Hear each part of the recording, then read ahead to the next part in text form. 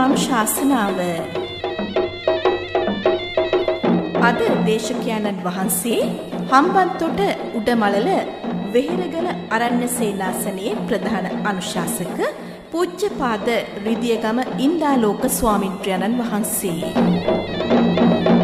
තෝරහතෝ සම්මා සම්බුද්දස්ස නමෝ තස්ස භගවතු අරහතෝ සම්මා සම්බුද්දස්ස නමෝ තස්ස භගවතු අරහතෝ සම්මා සම්බුද්දස්ස.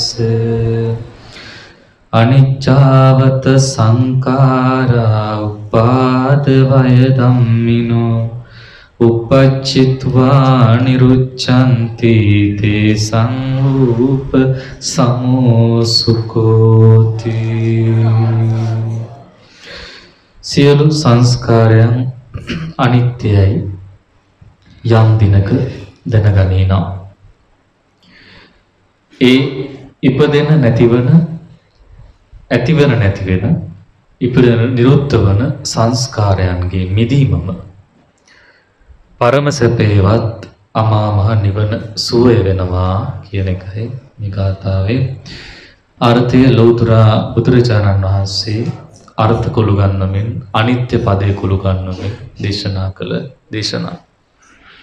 ඉතින් සෑම දෙයකම අනිත්‍යභාවය වගේ අද දවසෙත් උදෑසනින්ම අපි අවදි වෙලා මේ දායක පිරිස් ගොඩක් දුර බැහැරඳගෙන උදෑසන 4 පමණ ඉඳන් මම හිතන්නේ අවදි වෙලා තමයි මේ ගමන එන්නේ. ඉතින් පැමිණි තැන ඉඳගෙන අපි ධර්මචර්යාවක යෙදුණා ධර්ම ශ්‍රවණය කළා. පැය ගණන් ධර්මය ඇහුවා. හවස භාවනා ආදී කරගෙන දැන් මේ දුර්ලභ ඉන්කමක් අවුරුද්දට එක සැරයයි තියෙන්නේ වස් ආරාධනාවත් සිදු කළා ඒ ගෞරවනීය ස්වාමීන් වහන්සේලා සියසින් දැකගෙන අද වන්දනා කරගන්න තමන්ගේ අතින්ම පස්සික සාටකේ නැත්තම් වැසි සලුව පූජා කරගන්නත් මේ අයට වාසනාව ලැබිලා ධර්ම දේශනාවකුත් අපේ අලුතෙන් වැඩම කරපු ස්වාමීන් වහන්සේගෙන් ඉතින් ශ්‍රවණය කරගත්තා. ඒ බොහෝ සතුටක් මේ අයට ලැබුණ බව අපිත් දුටුවා. ඉතින් ඒකෙන් පේන්නේ මොකද්ද මේ ස්වාමීන් වහන්සේලා මේ ශාසනය පැවිදි වෙලා තමන් වහන්සේලා අවංකව හදාගත්තු ගුණය වෙන මොකුත් නෙවෙයි. හොඳටම රහතන් වහන්සේ කෙනෙක් කියලා මාකට් කරන්න පුළුවන් වයස අවුරුදු 80යි. නේද? බොරුවක් කරනවා ලේසියට ඔක කරන්න පුළුවන්. එහෙම කරන්නේ අවංකව අවංක ගෞරවයෙන් තිරුවන් සරණ මේ ස්වාමීන් වහන්සේලා අපේ පණ්ඩිත් ස්වාමීන් වහන්සේගේ වැඩපිළිවෙල තුල ඉන්නේ. අපේ නාවින ලොකු ස්වාමීන් වහන්සේලගේ මඟ පෙන්වීම අනුවයි ওই අවංකභාවයෙන් කටයුතු කරන්නේ. ඒ නිසා කොයි වෙලාවකවත් අර කුහක ගති නැත්නම් මිනිස්සු නැලවීම නැත්නම් මුලා කිරීමට පත් වෙන්නේ නැහැ. අවශ්‍ය නැහැ. මොකද එහෙම කරන්න දෙයක් නැහැ. මොකටද? මොනව ගන්නදනේ? නිසා ඒව කරන්නේ නැතු උන්වහන්සේලා අවංකව මේ ශාසනය ලැබූ ඔය අවබෝධයේ ගුණය තමයි ඔබට ප්‍රකාශ කළේ කෙටියෙන් මම කිව්වේ ඉතින් විනාඩි 30ක් කරන්න කියලා හරියටම විනාඩි 28න් ඉවරත් කළා. ඒක ලොකු දෙයක් නේද? ඒ අපි දීපු අවසරය අනුව ස්වාමීන් වහන්සේ ගෞරවයෙන් මේ කටයුත්ත කළා. කොහොම නමුත් ඉතා ඈත ඉඳගෙන අවුරුදු දැන් 14ක 15ක කලින් ඉඳන් තමයි උන්වහන්සේ මෙහි එන්නේ යන්නේ. ඉතින් අපි උන්වහන්සේට සේනාසනයකුත් හදලා දුන්න කතරගම අර කිව්ව විදියට කාවන්තිස්ස ගම මේ මිනිස්සුන්ගේ අසත්පුරුෂකම නිසා මේ සිල්වත් ස්වාමීන් වහන්සේ එලෝ ගත්තා. මොකද යාලට ඕන ඕන විදිහට දේව පූජා, බහිරව පූජා, අර පූජාවල් තියෙන ඒව කරගන්න බැරි නිසා. ඉතින් බලන්න කොයිතරම් අභාග්‍ය සම්පන්න මිනිස්සුදනේ. ඉතින් මේ වගේ ස්වාමීන් වහන්සේ කෙනෙක් හිටියනම් අද ඒ ස්ථානේ කොයිතරම් බබලීමට පත් වෙනවද? පින මදි වුණාම පින්වත්නි ඒව ලබන්න බෑ. අර දුස්සීල ඇසුරටම කැමති. එතකොට මිනිස්සුන්ට ඕන විදිහට වැඩේ කරනවා, හාමුදුරුවොත් ඕන දෙයක් කමක් නැහැ කියලා ඉන්නවා. එතකොට සතුටු වුණා. නමුත් එවැනි සිල්වත් ගුණවත් ස්වාමීන් වහන්සේලා ඇසුර ලබන්න අපිටත් පිනක් තියෙනවා. ඒ නිසා අපේ පැවිදි ජීවිතයේ එවැනි ස්වාමීන් වහන්සේලා දහස් ගණනින් අපිට හම් වෙලා තියෙනවා. මොකද අපි දැකලා තියෙනවා. ඉතින් උන්වහන්සේලා පරම අවංක භාවයෙන් කවදාවත් ඔය රහත් කියපු කණ්ඩායම් වල අපේ ස්වාමීන් වහන්සේලා නැහැ.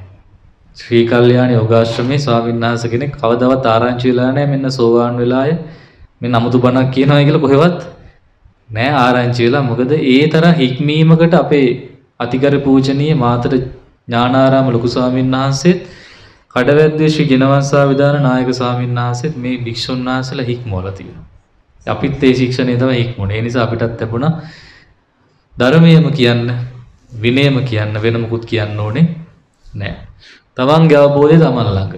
ඒක සමහර අය දැනගන්නවා. ඒ කියන්නේ ඇසුරු කරලා ඒක කරන්න දෙයක් නෑ. නැත්තම් එහෙම වචනයෙන් කිය කිය සල්ලි හම්බ කරගන්න කවදාවත් භික්ෂුන් වහන්සේලා යොමු කරලා නැහැ. ඉතින් ඒ කාරණේ අපි සතුටු වෙන්න ඕන සාදුනාදයෙන් පිළිගන්න ඕනේ. මේ ඔක්කොම පිට පැනලි තියෙන ඒ එහා ගිහපු එක එක තැන්වල පැවිදි වෙච්ච කැලෑ වැදිච්ච හාමුදුරු ටික තමයි ඒ වන වැදිලා වල් වැදිලා සාසනෙත් වල් වද්දවන්න තමයි දැන් හදන්නේ. ඒක නිසා අර වගේ මාර බලය වැඩිනේ. මාරයා බලවත්. ඒ නිසා එයාට අනුග්‍රහයත් වැඩි. හරියට මේ ඉන්න මිනිස්සුම අහු වෙනවා. මේ හොඳ සැදැහැරි දායකයෝ. මොකද එයාලා මේව සරණ යනවා. එයාලා මේවට අනුග්‍රහ කරන මූල්‍ය වශයෙන් මූල්‍යමය ගොඩාක් අනුග්‍රහ කරනවා. මේ දේශනා ප්‍රචාරය කරවන්න ඉතින් අපිට ඒව නවත්තන්න බෑනේ. ප්‍රචාරය කරන්න කිව්වට පස්සේ. ඒ නාලිකාවේ ස්වාමීන් වහන්සේට නවත්තන්න බෑ. මොකද මිනිස්සු ඉල්ලනවා මිනිස්සු ඉල්ලනවා නම් ඉල්ලුමට සැපයම විදිහට හැබැයි යම් නියාමනයන් පවත්වමින් තමයි කරන්නේ. එක එක වාසියක් තියෙන සමහර විට හරියට බණ අහන්න නැති එක හොඳයි. හරියට ඇහුවොත් තමයි ප්‍රශ්නේ. ඒ අර කියන්නේ වහුවෙන්නේ නැහැ. දැන් මම මේ වහලා මම මේ අල්ලගත්තට අපේ පිරිස මිනිස්සුන්ට ඔය අහුවෙන්නේ නැහැ ප්‍රශ්න වැඩි. ආ කියනකොට ඉතින් ඉක්මනින් ඕක කරගන්න සංකාර දකින්න සංකාරයන් වෙනස් වෙනවා දුකයි. එහෙම කියනකොට ඒක අහගෙන ඉඳලා අපි යම්කිසි සතුටක් ලබලා වින්දනයක් ලබලා නැගිටලා යන නිසා හොඳ හොඳ වෙලාවට එහෙම වුනේ. නැත්තම් මේ මහා ප්‍රඥ වෙලා නුවණ වැඩි වෙලා මතක ශක්තියවත් වැඩි වුණා නම් එහෙම අර කියන කියන හැම එකම මතකේ දැන් හැබැයි බණ බණ ඇහුවට කමන්නේ ටීවී එකේ මතක නැහැ. ඒක නිසා අපිට එක සැනසෙල්ල තියෙන මොකෝ මේ මිනිස්සුන්ට මේ මිසදුටු නම් මතක නැති නිසා. ඒකත් හොඳයි. එහෙමනම් ඒ සංඝ රත්නේ අපි ඇසුර සාදු කියලා ප්‍රාර්ථනා කරමු. ඉතින් ඒ අපි පැවිදි වෙච්ච තැනනේ ගල්දුව ශ්‍රී ගුණවර්ධන යෝගාශ්‍රමේ අතිකරු පණ්ඩිත මාහිම්පාණන් වහන්සේ 1907 තමයි ඉපදුනේ උන්වහන්සේ ගැනත් අපි වචනයක් නොකියුවොත් අපිට ඒක අඩුවක්. 907 ඉපදිලා අවුරුදු 14 දී පැවිදි වෙලා මාතර කඩවැද්දුව කියන ගමේ තමයි උන්වහන්සේ ඉපදුනේ. පැවිදි වෙන්න ගිහින් තියෙන්නේ ස්වාමීන් වහන්සේගේ මාමා කෙනෙක් වෙන ස්වාමීන් වහන්සේ කෙනෙක් වැඩ ඉන්න පන්සලකට හොරණ. එහි පැවිදි වෙලා අවුරුදු 14න් පස්සේ ස්වාමීන් වහන්සේ කුඩා වයසේ පිරිවෙන් අධ්‍යාපන ලැබලා අවුරුදු 20 දී උපසම්පදාව ලැබලා රාමඤ්ඤ මහානිකාය තුල එදා සිල්වත් ගුණවත් ස්වාමීන් වහන්සේලා බොහෝ වැඩ හිටපු නිකාය. විශේෂයෙන් මේ පුහුල්වැල් ආසන්නේ තියෙන ආරණ්‍යයක් තියෙන පුවක්ගහ මඩිත්ත කියලා. ඒ ආරණ්‍ය ඇතුළු බටුවිට ආරණ්‍ය ආදී ආරණ්‍ය ගණනාවක සිල්වත් සමාගම කියලා පිරිසක් වැඩ ඉඳලා තියෙනවා. ඒ උන්වහන්සේලා බොහොම සිල්වත් දූතාංගධාරීව ලෝකයෙන් ඈත් වෙලාම හැංගිලාම හිටපු පිරිසක්. ඒ පිරිසේ තිබුණ යම් යම් අඩුපාඩුකම් වැඩිපුර ගත්තු දේවලු අඩු කරලා තමයි අපේ පණ්ඩිත ස්වාමීන් වහන්සේලා මේ යෝගාශ්‍රම වැඩපිළිවෙලක් හදන්න ඕනේ කියලා උන්වහන්සේ එකපාරක හැදුවේ නෑ. තමන් වහන්සේගේ තරුණ වයස බොහෝ සෙයින් වීරවන්ත බොහොම ශක්තිවත් පිටිතර භික්ෂුවක් වශයෙන් අපි අහලා තියෙනවා. කාටවත් බය නැති ස්වාමීන් වහන්සේ කෙනෙක්. තරුණ කාලේදී කොහොම ඉන්නේ නැති කියලා හිතනවා. වයසට ගියාට පස්සේ උන්වහන්සේගේ වචන ඇහුවත් අපිට ඒක පුදුමයි. ඒ කාලේ පාගමනින් හරි ගිහිල්ලා ධර්ම දේශනා කරපු බව සඳහන් වෙනවා. එක ආරාධනාවක් වෙසක් පොය දවසේ ලැබිලා තිබුණා. ආරාධනා කරපු අයට තමත වෙලා ආරාධනා කරයි කියලා. ටිකක් දුර පන්සලක් කිලෝමීටර් 14ක් විතර. කමන්නේ ඉතින් බාරගත්තන වැඩේ කරන්න එපා. දායකයාවත් නැතත් කියලා උන්වහන්සේ තනියම වැඩියලු පයි. ඉහින් බලනකොට බාගෙට පණ ගිහ උපාසකම්මල පස් දෙනෙක් ඉන්නේ. පස්වග මාන්නුනගේ නේද? හරියට පහයි. ඉතින් පස් දෙනා ඉන්නේ අනිත් අනිත් අය කෝ කියලා ඔක්කොම ගිහිල්ලා වෙසක් බලන්න. මොනව බලන්නේ? ඔන්න මේක හැරිච්ච තැන මේ ස්වාමීන් වහන්සේ හිතුනේ මෙතන මේ සිද්ධිය. වෙසක් පොයේ දවසේ බණ අහන්න පස් දෙනයි. හැබැයි ටැක්ටර පුරවගෙන කරත්ත පුරවගෙන ගිහිල්ලලු තොරම් බලන්න. ආන්න ලිපියක් ලිව්වා. තෑග්ගට සුදුසු වෙසක් සැරසිලි. ඕක තමයි අපිව හැරිච්ච තැන. එක ලිපියෙන් තමයි මේ රටම අවදි වුණේ. එක ඒ කාලේ පත්තරේ මට මතක නැහැ මොනවා හරි පත්තරේ දිනමින වගේ පත්තරයක් ගිහින් තිබුණේ. මේ ලිපිය ඉතාම වටිනවා. අපි කියවන්න වටින ලිපියක් දැන් මට මතක නැහැ ලිපිය ඉතින් බලාගෙන වුණ කියන්න. ඉතින් මේ වෙසක් සැරසිලි ගැන තමයි ස්වාමීන් වහන්සේ කතා කරේ. අද බුදුරජාණන් වහන්සේ වැඩ සිටියා නම් මේ සැරසිලි කාර්යයන්ට කවරනම් බණක් දේශනා කරයිද? මේ නැටුම් නටන්නෝ මා පුදන්නෝ නොවේයයි පිරිනිවන් මංචකයේ නැටුම් නැටු දෙවියන්ට පවා බුදුරජාණන් වහන්සේ දේශනා කළා ආමිසයෙන් පුදන්නෝ සැබවින් නොපුදන්නෝය ප්‍රතිපත්තියෙන් පුදන්නන් මා පුදන්නන්ය කියලා. නිසා මේ බාහිර ආටෝපේට රැවටිලා බොහොම හිස් ගමනක් තමයි ඒ වෙනකොට මේ මිනිස්සු ගිහින් තිබුණේ. ස්වාමීන් වහන්සේලාත් පිරිවෙන් අධ්‍යාපනයෙන් පසුව විශ්වවිද්‍යාල අධ්‍යාපනයට ගිහලා බොහොම දුස්සීල භාවයට පත් වෙන පෙර නිමිති ඒ කාලේ තිබිලා තියෙනවා. මොකද දැන් අපිට පේනවනේ විහාරස්ථානයක පැවිදි කරලා උපසම්පදා කරන එක නිකන් උත්සවයක් විතරයි. එදින් පස්සේ දවසේ නම් උපසම්පදා සිර රැකෙන්නේ නැහැ. පරාජිකා වීමෙන් තමයි වැඩ පටන් ගන්න. එතනින් පස්සේ ඒක ලයිසන් එකක් විතරයි. තමන්ගේ සංඝපත් බුදින ලයිසන් එකක් කියලා තමයි ස්වාමීන් වහන්සේ කියන්නේ ඔකට උපසම්පදාවට. ඒ කියන්නේ අපි දැන් උපසම්පදා එච්චරයි. රකින්න ඕන නෑ. අර සහතිකයේ තියෙන එල්ලා බිත්තිය හිතේ නෑ. ඉතින් එහෙම තත්යකට වැටලා තියෙනවා. එදත් එහෙමයි. ලොකුවට මේ විනාශය තිබුණා. නමුත් ඊට වඩා අද වැඩි. ඒ භික්ෂුන් වහන්සේලා අතර අද කාර් කුලියට දෙනවා.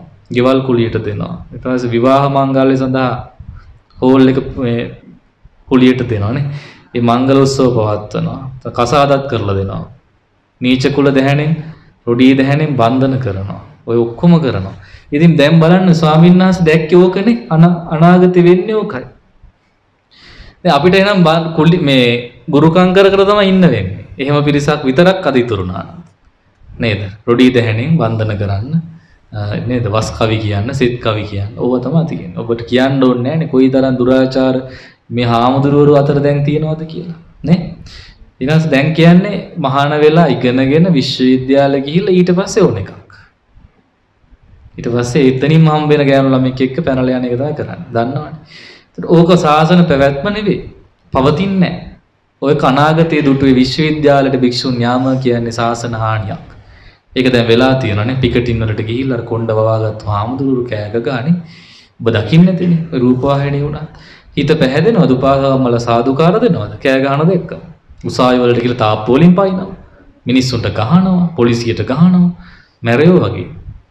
ඕන ඔහොම පිරිසක් අනාගතයේ බිහි වෙන බව රහතන් වහන්සේලා පවා දේශනා කළා තියෙනවා පාරාසරිය රහතන් වහන්සේ තේරගතාවු නම් බලන්න තියෙන කොණ්ඩ පාට කරගෙන කොණ්ඩ වවාගෙන අඳුන් ගාගෙන මේ භික්ෂූන් ගිහිය වගේ ජීවත් වෙනවා එකම වෙනසයි තියෙන්නේ අර කහපාර රෙද්ද තියෙනවා ඒක ගැලෙව්වට පස්සේ තනිකර ගිහි කෙනා ඒ ජීවිතය තමයි ගෙවන්නේ. අර හැඩ වැඩ වෙලා නේද? සෙන් පවුඩර් ගාගෙන හාමුදුරු එළියට එන්නේ. එතකොට මේ ජීවිතේ ඔහොම ගියා නම් අද අපිට බණක් අහන්න වෙන්නේ නැහැ එහෙනම්. නේද? සුරාපානය කරලත් බණ කියන හාමුදුරු ඉන්නවා සුරාමේරේ මච්චපමා දට්ටාන වේරමණී කියලා වෙරි වෙලා කියනවා. ආටේ කියන්නේ ගමට. අපේ ගම් පළාතේ මට ආරංචි වුණා ටිකක් ඇතුළට වෙන්න කැලෑ පැත්තේ. ඉතින් ගමේ හාමුදුරුවෝ බොන නිසා මේ මිනිස්සුත් කැමතිලු. ගොඩක් පිරිමි අයනේ ඔකට කැමති. හාමුදුරුව අපිට හොඳයි අපිට ගැලපෙන කෙනා. හාමුදුරුවොත් බොන්න අපිත් බොනවා. ඕන්න අපි මරන් එන්නම් ඔක්කොම එකතු වෙලා බොමු. සිවුර ගලවලා පැත්තකට දාන අඳින්න පිටින් බොනවා. දැන් ඔන්න ඔහොම වෙනකොට අපිට නිවන් මඟ පෑදේද? නෑ 951 කියන්නේ අපිට අනුස්මරණීය වර්ෂය. තෑග්ගට සුදුසු වෙසක් සැරසිල්ල බඩගිනි පෙළපාලි හා අපේ හාමුදුරු වැනි ලිපි වලින් මේ මිනිස්සු අවදි වුණා. ඒ කියන්නේ හාමුදුරුවෝ බත් කන්නද මහණෝනේ ඒකයි අහන්නේ. බඩගිනි පෙළපාලි නේද? අපේ භික්ෂුන් වහන්සේගේ උරුමය මොකද්ද? ඔයගේ ගොඩාක් මාතෘකා ස්වාමීන් වහන්සේ කතා කරලා තියෙනවා පුවත්පත් වල. එදා තිබිච්ච ප්‍රබලම මාධ්‍ය පුවත්පත. ඉතින් පුවත්පත පෑන අතට ගත්තා ලිව්වා ලිව්වා ලියලා ලියලා මිනිස්සුන්ගේ හිත අවදි කළා. අවුරුදු 10ක් 15ක් ඔය වැඩේ කරගෙන යනකොට ස්වාමීන් වහන්සේට හිතුණා මේක හරියන්නේ නැහැ මෙහෙම අපි වෙනම භික්ෂු පිරිසක් ඇති කරන්න ඕනේ ශාසනය තුල. මොකද හැමතැනම අවුල් වෙච්ච පිරිස් නේ. ඉතින් පිරිසුදු උපසම්පදාව ලැබලා තිබුණා රාමඤ්ඤ මහානිකා. ඉතින් උත්කෘෂ්ඨ අවධිය තමයි ඒ කාලේ. ඒකේ කිසිසැකයක් නැහැ අපිට රාමඤ්ඤ මහානිකා කියන සිල්වතුන් වැඩ හිටපු තැන. එතන තරහකට අයින් වුණා නෙවෙයි වෙනමම මේක යන්න ඕන. ඒ නිසා ස්වාමීන් වහන්සේ ආරාධනාවක් කරලා තිබුණා.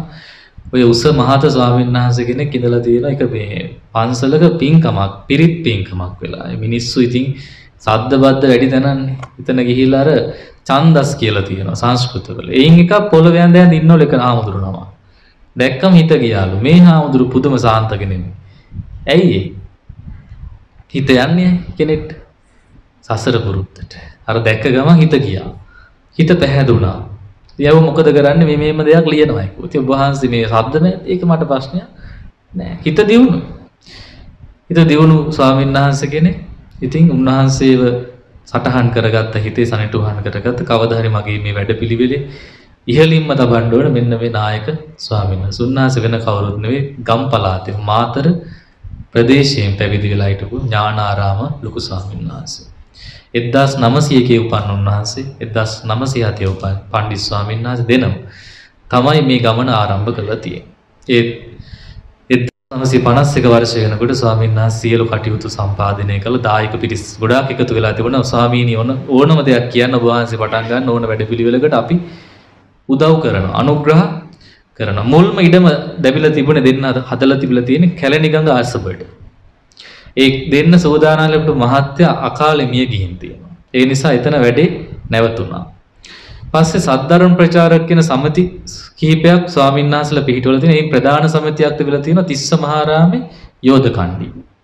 අනුස්මරණීය. මොකද තිස්ස මහාරාමයේ මෙතන ඉන්නෝනේ.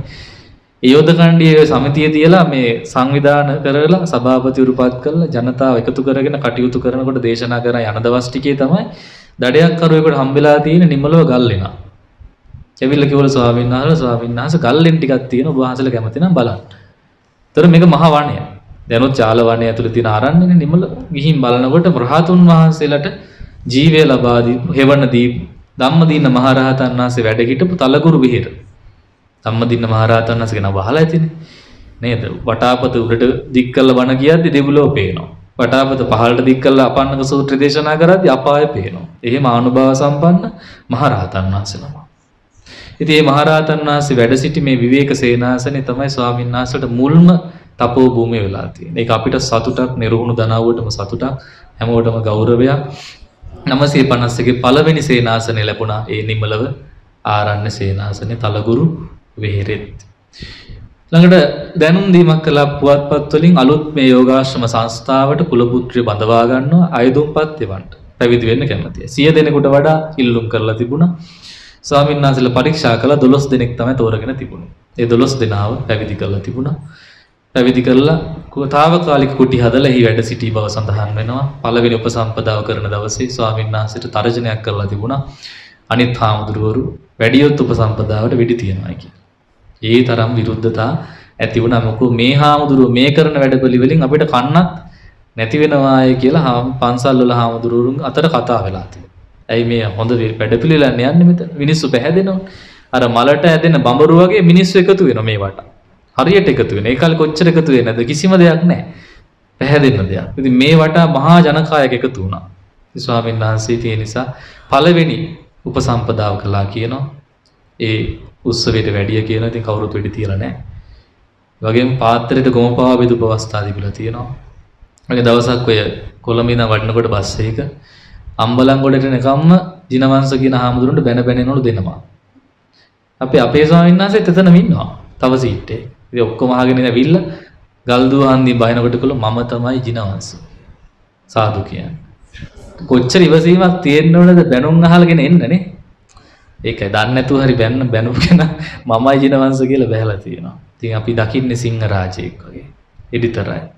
නිර්භීතයි. ඉතින් උන්වහන්සේ ওই ගමන එදා නොගියා නම් ඒ ගමන ටිකක් අමාරු ගමනක්. පිරිවෙනක් අයිතිව තිබුණා. තෙබුවන ගාන්තාකර පිරිවෙන කියන පිරිවෙන අචේ ඒ කියන්නේ බොහොම උසස් තත්ත්වයක තිබිච්ච පිරිවෙනක් කියනකොට පිරිවෙන ඊට එකම ශිෂ්‍යයෙක් තමයි මේ ගමන ආවා කියන ගැටමාන නිමලවංශ කියන ලොකු ස්වාමීන් වහන්සේ අපේ පණ්ඩිත් ස්වාමීන් වහන්සේත් එක්ක ඇවිල්ලා තියෙනවා. ඉතින් මේ ලොකු ස්වාමීන් වහන්සේ අවසරය ගන්න හරි අමාරු වුණාලු මොකද මේ ඒ සායනස හරි සද්ද බද්ද වලට කැමති ඇති කෙනෙක්. يعني නිහඬව ඉන්න කැමති කෙනෙක්. මාතර ජිනවංශ මේ මාතර ඥානාරාම අපේ ලොකු ස්වාමීන් වහන්සේ. ඉතින් උන්වහන්සේ නිහඬ කෙනෙක් නිසා දැන් කය දැක්කම අපිට තේරෙන හරි ගාම්භීරයි බ්‍රහ්මරාජයේත් කියලා හිතෙනවා. ඒ තරම් නිහඬයි. ඉතින් නැවත නැවත කිව්වත් කැමති වෙලා නැහැ ওই බර වැඩවලට මම කැමති නෑ කිය කින්නකොට හිත හරියන විදිහ ලියුම් ලියලා තියෙනවා. මේ සාසනේ වැටිලා තියෙන මේක අපි ගොඩ ගන්න ඕනේ ස්වාමීනි. එහෙම කියලා කරුණ කියනකොට අන්තිම ලියුම ලියලා තිනවා. මේ ජිනවංශ නමත් එක්ක මම ගහක් යට හරි ඉන්න අපි එනවා කියලා. ඒ මතක් කිරීමේ ප්‍රතිඥාව එහෙම සිද්ධ වුණා. අවසාන 992 ස්වාමීන් වහන්සේ අපවත් වෙන තුරු මේක නොබිදි පැවතුණා. දෙවැනි ශ්‍රේෂ්ඨ චරිත සිහි කරනකොට අපිට ලොකු සතුටක් ඇති වෙනවා. මොකද උන්වහන්සේලා නොවෙන්නට අපි මම හැමදාම මතක් කරන අපිත් මෙතන නැහැ. අපිට මෙහෙම බණ කියන්න ලැබෙන්නේ නැහැ අද එහෙනම් නේ. අඩුම තරම් අපි පැවිදි වෙන්නේකුත් නැහැ එහෙනම්. ඇයි අපි කොහේ යන්නද? සිල්ලුතුන් දකින්න නැහැ. අපේ ගම්වල සිල්ලුතුන් හිටියේ නැහැනේ. පන්සල් ගියාට දහම් පාසල් ගියාට සිල් ලකින්න දැකලා නැහැනේ අපි. ඉතින් අපේ පිනට කොහොම හරි මේ යෝගාශ්‍රම වැඩ පිළිවෙල තිබිලා තියෙන අවුරුදු අපි ඉපදුනේ 86 මම ඉපදුනේ. ඉතින් 86 ඉඳන් 2003 වෙනකම් මම ලංකාවේ හිටියේ. පිටරටගෙන අපි හවදාවත් අහලා නැහැනේ. එහෙම තැනක් තිබුණා කියලා. නමුත් කලකිරලා ජීවිතේ පිහිටක් හොයන වෙලාවේ අපිට පිහිට වුණේ ශ්‍රී කල්යාණි යෝගාශ්‍රම. ඒ ගල්දුව සේනාසනේ. ඉතින් අපි කලින් වාරෙත් මතක් කළා කරනුලේ නාරන්ට ගිහිල්ලා අපි ඒ ගමන ගිය බව. ඉතින් ඔබ දන්නවා ඒ විස්තරේ. ඉතින් යන්න අපිට තැනක් තිබුණ නැති තැන අපිට පිහිට වුණේ ලොකු ස්වාමීන් වහන්සේලා. ඉතින් උන්වහන්සේලා බිහි කරපු ශිෂ්‍යෝ ඒ වෙනකොට 79කට අධිකව එහි වැඩ සිටිය මං යද්දිත්. ඉතින් පින්ඩපාතේ වඩනකොට ඒ දර්ශනය දැකලා මගේ සිතක් නිවුණා. ඉතින් අපි හෙව්වේ අපි පැතුවේ මෙන්න මෙවැනි සිල්වත් ගුණවත් සංඝ පරපුරක්. ඒක පිහි කරලා තිබුණා. එතකොට පණ්ඩිත් ස්වාමීන් වහන්සේ 2003 හත්වෙනි මාසේ 13 වෙනි ඇසලපුන් පොහෝ දින බලවත් සිහියෙන් අපවත් වෙලා තිබුණා. ඉතින් ස්වාමීන් වහන්සේ අපවත් වෙන්න පෙර දවස් දෙකකට කලින් සිහි කරලා තිබුණා ස්වාමීන් වහන්සේලා ඔක්කොම කැඳවලා ආවාසෙට මතක් කළා තමයි තව දවස් දෙකකින් මම තුසිත දිව්‍ය ලෝකෙට වඩිනවා. මේ නමල සතුටු වෙන්න දුක් වෙන්න එපා. සමගි වෙන්න. පැය දෙකක විතර අනුශාසනාවක් කරලා තියෙන එක ඔය කැසට් පටියක පටිගත කරලා තිබුණා ඒ කාලේ. බොහොම දුර්ලභ දෙයක්. ඉතින් ස්වාමීන් වහන්සේ කීව විදියටම දවස් දෙකකට පස්සේ ඇසලපුන් පොව දවසේ මධ්‍යම රාත්‍රී අරියවංශ සූත්‍ර දේශනාව ගල්දුව සේනාසනේ දේශනාව වන අතරතුර තමයි ස්වාමීන් වහන්සේ අපවත් වදාළ අදත් අපි විශ්වාස කරනවා සිහි කරනවා ස්වාමීන් වහන්සේගේ ඇල්ම බැල්ම අපිටත් තිබෙනවා උන්වහන්සේ තිස්ත දෙව්ලොව ඉඳගෙන මේවා අද අනුමෝදන් වෙනවා ඇති. මොකද අපි කරන දේ එච්චර ලොකු දෙයක් නෙවෙයි. අපි කරන්නේ ස්වාමීන් වහන්සේ හදලා දීපු පාර යන එක. උන්වහන්සේලා කලේ අලුතෙන් පාරක් කපාගෙන ගියානේ දුස්සීල සංඝයා මැද්දේ. ඒ තාඩන ගර්ජන ඒවට බය වෙන්නේ නැතුව නේ මරණ තර්ජන වලට බය වෙන්නේ නැතුව කොයිතරම් අමාරු දෙයක්ද කළේ. ඉතින් නිමලව සෙනසුනෙන් පටන්ගෙන පුහුල්වැල්ල ශ්‍රී රුහුණු යෝගාශ්‍රමය අදත් වැචබෙනවා. අදත් විවේක සෙනසුණක් ඒ සේනාසනේ පූජා වුණා. අනතුරුව ගුණවර්ධනාරාමයේ තමයි ඔය කහව ගල්දුවේ තියෙන ඕල්කට්තුමා ආපු වෙලාවක ගිහිපු පන්සලක් එතන පිළිමි හදන්න යෝජනා කරලා තියෙන ඕල්කට්තුමා. ගල් දෙකක් අතර තමයි ඔය සැත මේ සමාධි ප්‍රතිමාදී හරිම ලස්සනයි. ඒ පුදු පිළිමාස්සේ. ඉතින් එවැනි විහාරයක් තිබිලා තියෙනවා ගුණවර්ධන කියන ඔය ප්‍රධානියෙක් ඒක පළාතේ හිටපු රාලහාමි කෙනෙක් ඒ කාලේ හැටියට බලවත් චරිතයක්. එතුමා තමයි මේ පන්සල හදලා තියෙන්නේ. පස්සේ හොල්මන් තිබිලා තියෙනවා ওই පැත්තේ. ඒ නිසා පන්සල පාළු වෙලා තියෙනවා. දැනටත් එහි කවන්ද රූපයක් තියෙනවා කියලා කියනවා. එතුමාගේ සෝහන තියෙන ගලින් හදලා එතන තාම බෝධිය ගාවමයි තියෙන ගල් අයින් කරන්න බෑ ගල් වලින් හදලා තියෙන. සමහර සානදලා දැකලා තිනවා හිස නැති කඳක්. රැයට තියෙනවා 12ට විතර. ඉතින් නමුත් ස්වාමීන් වහන්සේ ඔක බාරගත්තා. ගුණවර්ධන ආරාමයේ පන්සල බාරගත්ත එක කොටසයි තිබුණ උඩු පැත්තේ එතන අක්කර දෙකක වගේ බිම් ප්‍රමාණයක් තිබුණේ. පරණ විහාරේ, පැරණි චෛත්‍ය, පැරණි බෝධිය, පරණ ධර්මශාලාව තිබුණා. ඉතින් එහි කුටි හදාගෙන ස්වාමීන් වහන්සේලා වැඩ ඉන්නකොට ඒ එහා පැත්තේ පාරෙන් එහා පැත්තේ අක්කර පහක විතර ඉඩමක් තියෙනවා කුරුඳු වත්තක්. මේකෙත් අර දෝෂ තිබිලා තියෙන අමනුෂ්‍ය. ස්වාමීන් වහන්සේට මතක් කරාම ස්වාමීන් වහන්සේ පිරිත් කිව්වම ඒක හරි ගිහින් තියෙනවා. ඒ සතුටට ඒ පිරිස මොකද කළේ මේ ඉඩමත් පූජා කළා. ඊට පස්සේ දැන් අපි වැඩ හිටපු පැත්ත තමයි ඔය කැලය. ඒ මුළු ඉඩම මේ ස්වාමීන් වහන්සේලා වැඩ ඉන්න තත්ත්වයට දැන්පත් කරලා දැන් 79කට ආසන්නව කුටි සෙනසුන් වල වැඩ ඉන්න පුළුවන් තත්ත්වයට තිබුණා අපි යනකොට. ඉතින් අපි යනකොට අපිට අමුතුවෙන් හිතන්නවත් දෙයක් නැහැ ඔක්කොම හදලා තිබුණේ. ගිහිල්ලා ಗುಣ පුරාගෙන ඉන්න තමයි අපිටත් එදා තිබුණේ. ඒ නිසා ඒ උතුම් ශාසනික මෙහෙය කරපු අපේ පණ්ඩිත් ස්වාමීන් වහන්සේ උන්වහන්සේලා මේ ලංකාවේ ලොකුවට බැබළුනේ නැහැ නම් වශයෙන් මොකද අල්පේච්ඡතාදියෙන් උතුම් නිසා එළියට ගියේ නැති නිසා. අවසාන කාලයේ රාමඤ්ඤ මහානිකායේ යෝජනාවක් ආව ස්වාමීන් වහන්සේට නිකායේ මහානායක තනතුර බාර ගන්න. ඒක අරන් ඇවිල්ලා තියෙන යෝජනාව වේවැල් දෙනියේ මේදාලංකාර කියන ස්වාමීන් වහන්සේ. ආමකෝ මට මේ මහානායක තනතුර ඕනේ මට මේ ඉන්න හැටි හොඳටම සනීපයි. මේ කුටියටලා ආවාසයටලා දැන් විවේක සුවයෙන් ඉන්න එක තරම් වෙනත් නායකකමක් මට නැහැ. ඒ නිසා මේ නම මේක බාරගන්නයි කියලා අර ආපු ස්වාමීන් වහන්සේලා පෙවර පෙරලා බාර දුන්නා. මොකද වැඩි හිටිම ස්වාමීන් වහන්සේ අපේ පණ්ඩිත් ස්වාමීන් වහන්සේ එතකොට ඒ ඒ වර්ෂ වෙනකොට. ඉතින් එහෙම තමයි අල්පේච්ඡ බව. බාරගත්තා නම් ඒක වදයක්නේ නේද? ලියුම් අස්සම් කරන්න ගොඩක් වැඩ තියෙනවා. ඉතින් ස්වාමීන් වහන්සේ අනිත් කාරණේද අපි සතුටු වෙන දෙයක් දිනචරියාව ලියලා තියෙනවා. දින පොතක්. පොඩි පොත්. වැඩි ලොකුත් නෑ. රෝල් පහයි තියෙන එක දවසකට. පුදුමේ තමයි පටන් ගත්ත දවසේ ඉඳන් අවසන් දවස් වෙනකම් එක පොතම අරන් අවමතක් වෙන එන දවස්වල එහෙන්. අරගෙන ආවා ස්වාමීන් වහන්සේ මතක් වෙන්නේ. ඒ පළවෙනි පිටුවේ කියනවා මේ පොතේ ආරම්භ කරනවා මේ පොත ලියන්න. මේ පොතේ පිටුමෙන් මගේ ජීවිතය නොසිස් වේවා. කියන්නේ නොසිස් වෙන ලියනවා. ඒකේ පුදුමේ දැන් මේ දවස හදන්න එපා මේ රූල් පහට. දවසේ ගත වෙච්ච සිද්ධි ටික හදන්න ඕන රූල් පහකට පොඩි ඉඩකට. හැබැයි ස්වාමීන් වහන්සේ ලස්සනට හදලා තියෙනවා. ඒ දවසට අවශ්‍ය ටික අඩු වෙන්නේ නැති වෙන්න වැඩි වෙන්නේ නැහැ. එතකොට අපිට සිහි කරගන්න තියෙන මහා ප්‍රඥාවක් දරපු ස්වාමීන් වහන්සේ. දේශනා කෞශල්‍ය පුදුමයි. හැඟීම් අවදි වෙනවා ඒ දේශනා අහනකොට. සාසන හැඟීම් ඇටමිදුළු දක්වා වදිනවා. ඒ මිනිස්සුන්ට එහෙම නොකිය බෑ කාලේ ඒ විදියට කියලා තියෙනවා. ඒ රුවන්වැලි මහසෑය ඒ වගේම ජයශ්‍රී මහා බෝධිය ළඟ අවුරුදු 25 පිරෙන වෙලාවේ කරපු ධර්ම දේශනා තාමත් තියෙනවා. ඉතින් ඒව ගුවන්විදුලි සංස්ථාවේ සජීවීව ප්‍රචාරය වෙලා තිනවා එදා කාලේ. ඉතින් ඒ වහනකොට තේරෙනවා ස්වාමීන් වහන්සේගේ හිතේ මොනතරම් සාසනික හැඟීමක් තිබිලා තියනවාද කියලා. ඉතින් ඒක අපි සතුටු වෙනවා අදත් ඒ වහලා අපිටත් අපේ පැවිදි වෙච්ච කාලේ අපි අහනවා ගිහිල්ලා ආවාස තියනවා පරණ පීස්. ඉල්ලගෙන ඇවිල්ලා අපිත් අහනවා. අපිටත් සතුටුයි. අපිට හැඟීමක් ඇති වෙනවා. චරිත මදු කියන ස්වාමීන් වහන්සේගේ චරිත කතා පොත කියවලා තියෙනවා අපි මුලින්ම. ඒ කියවද්දිම ස්වාමීන් වහන්සේ ජීවමාන නොදැක්කත් අපේ හිත්වල ජීවමාන වුණා. ඔබ වහන්සේ යම් දෙයක් කළා නම් මේ ශාසන අපිත් යම් දෙයක් ඒ වෙනුවෙන් කළ යුතුයි. තවත් එක්කෙනෙකුට හරි මේ ශාසනික ලාභය අපි ලබා දෙනවා කියන චේතනාවෙන් තමයි අපි පැවිදි ජීවිතය ආරම්භ කළේ. ඉතින් ඒ අනුව තමයි මේ ස්ථාන වෙත අපිට එන ලැබුණා. ඉතින් මේ ගෞරවනීය ස්වාමීන් වහන්සේලාත් අද වැඩම කළ අපිට ආශිර්වාද කරලා තියෙනවා. උපකාර කරලා තියෙනවා. ඉතින් අපේ කල්යාණ මිත්‍ර ස්වාමීන් වහන්සේලා ලංකාව පුරා විසිරී පැතිරී නොයෙක් සේනාසනවල වැඩ සිටිනවා. දැනට අපිට පූර්වවැල ශ්‍රී රූණ යෝගාශ්‍රමාධිපති අතිපූජනීය බුලත් සිංහල සුමංගල ලොකු ස්වාමීන් වහන්සේ අර්ථයෙන් ධර්මයෙන් අනුශාසනා කරමින් අපිට අනුග්‍රහ කරනවා. විනය කර්ම වලටත් අනුග්‍රහ කරන එක ලොකු භාග්‍යයක් අපි සාධනාදයක් දෙමින් ඒ ස්වාමීන් වහන්සේත් අපි සිහි කරමු. උන්වහන්සේටත් නිරෝගී සුව දීර්ඝායුෂ ලැබේවා කියලා. එහෙනම් ඕක තමයි කෙටි විස්තරය.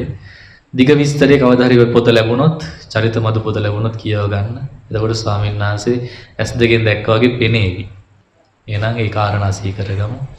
තුසිත භවනේ වැඩ සිටින අතිපූජනීය කඩවැද්දුව ශ්‍රී ජිනවංශ අභිදාන ස්වාමීන් වහන්සේට ඉන් මෑත අපවත් වදාළ ස්වාමීන් වහන්සේගේ ජේෂ්ඨම ශිෂ්‍ය රත්නය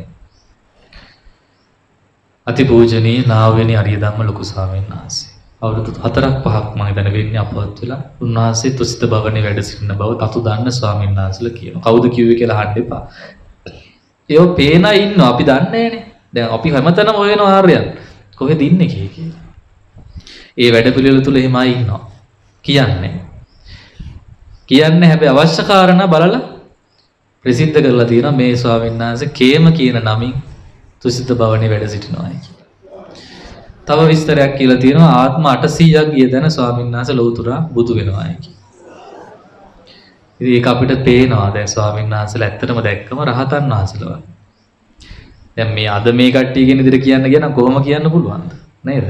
පේන්නෙම නැහැ, අහුවෙන්නෙම නැහැ. මොකද කිසි වරදක් කරන්නේ හොයන්න බෑ. කෙලස් තියනවද කියලා හිතා ගන්න බෑ. ඒ තරම් සංවරයි.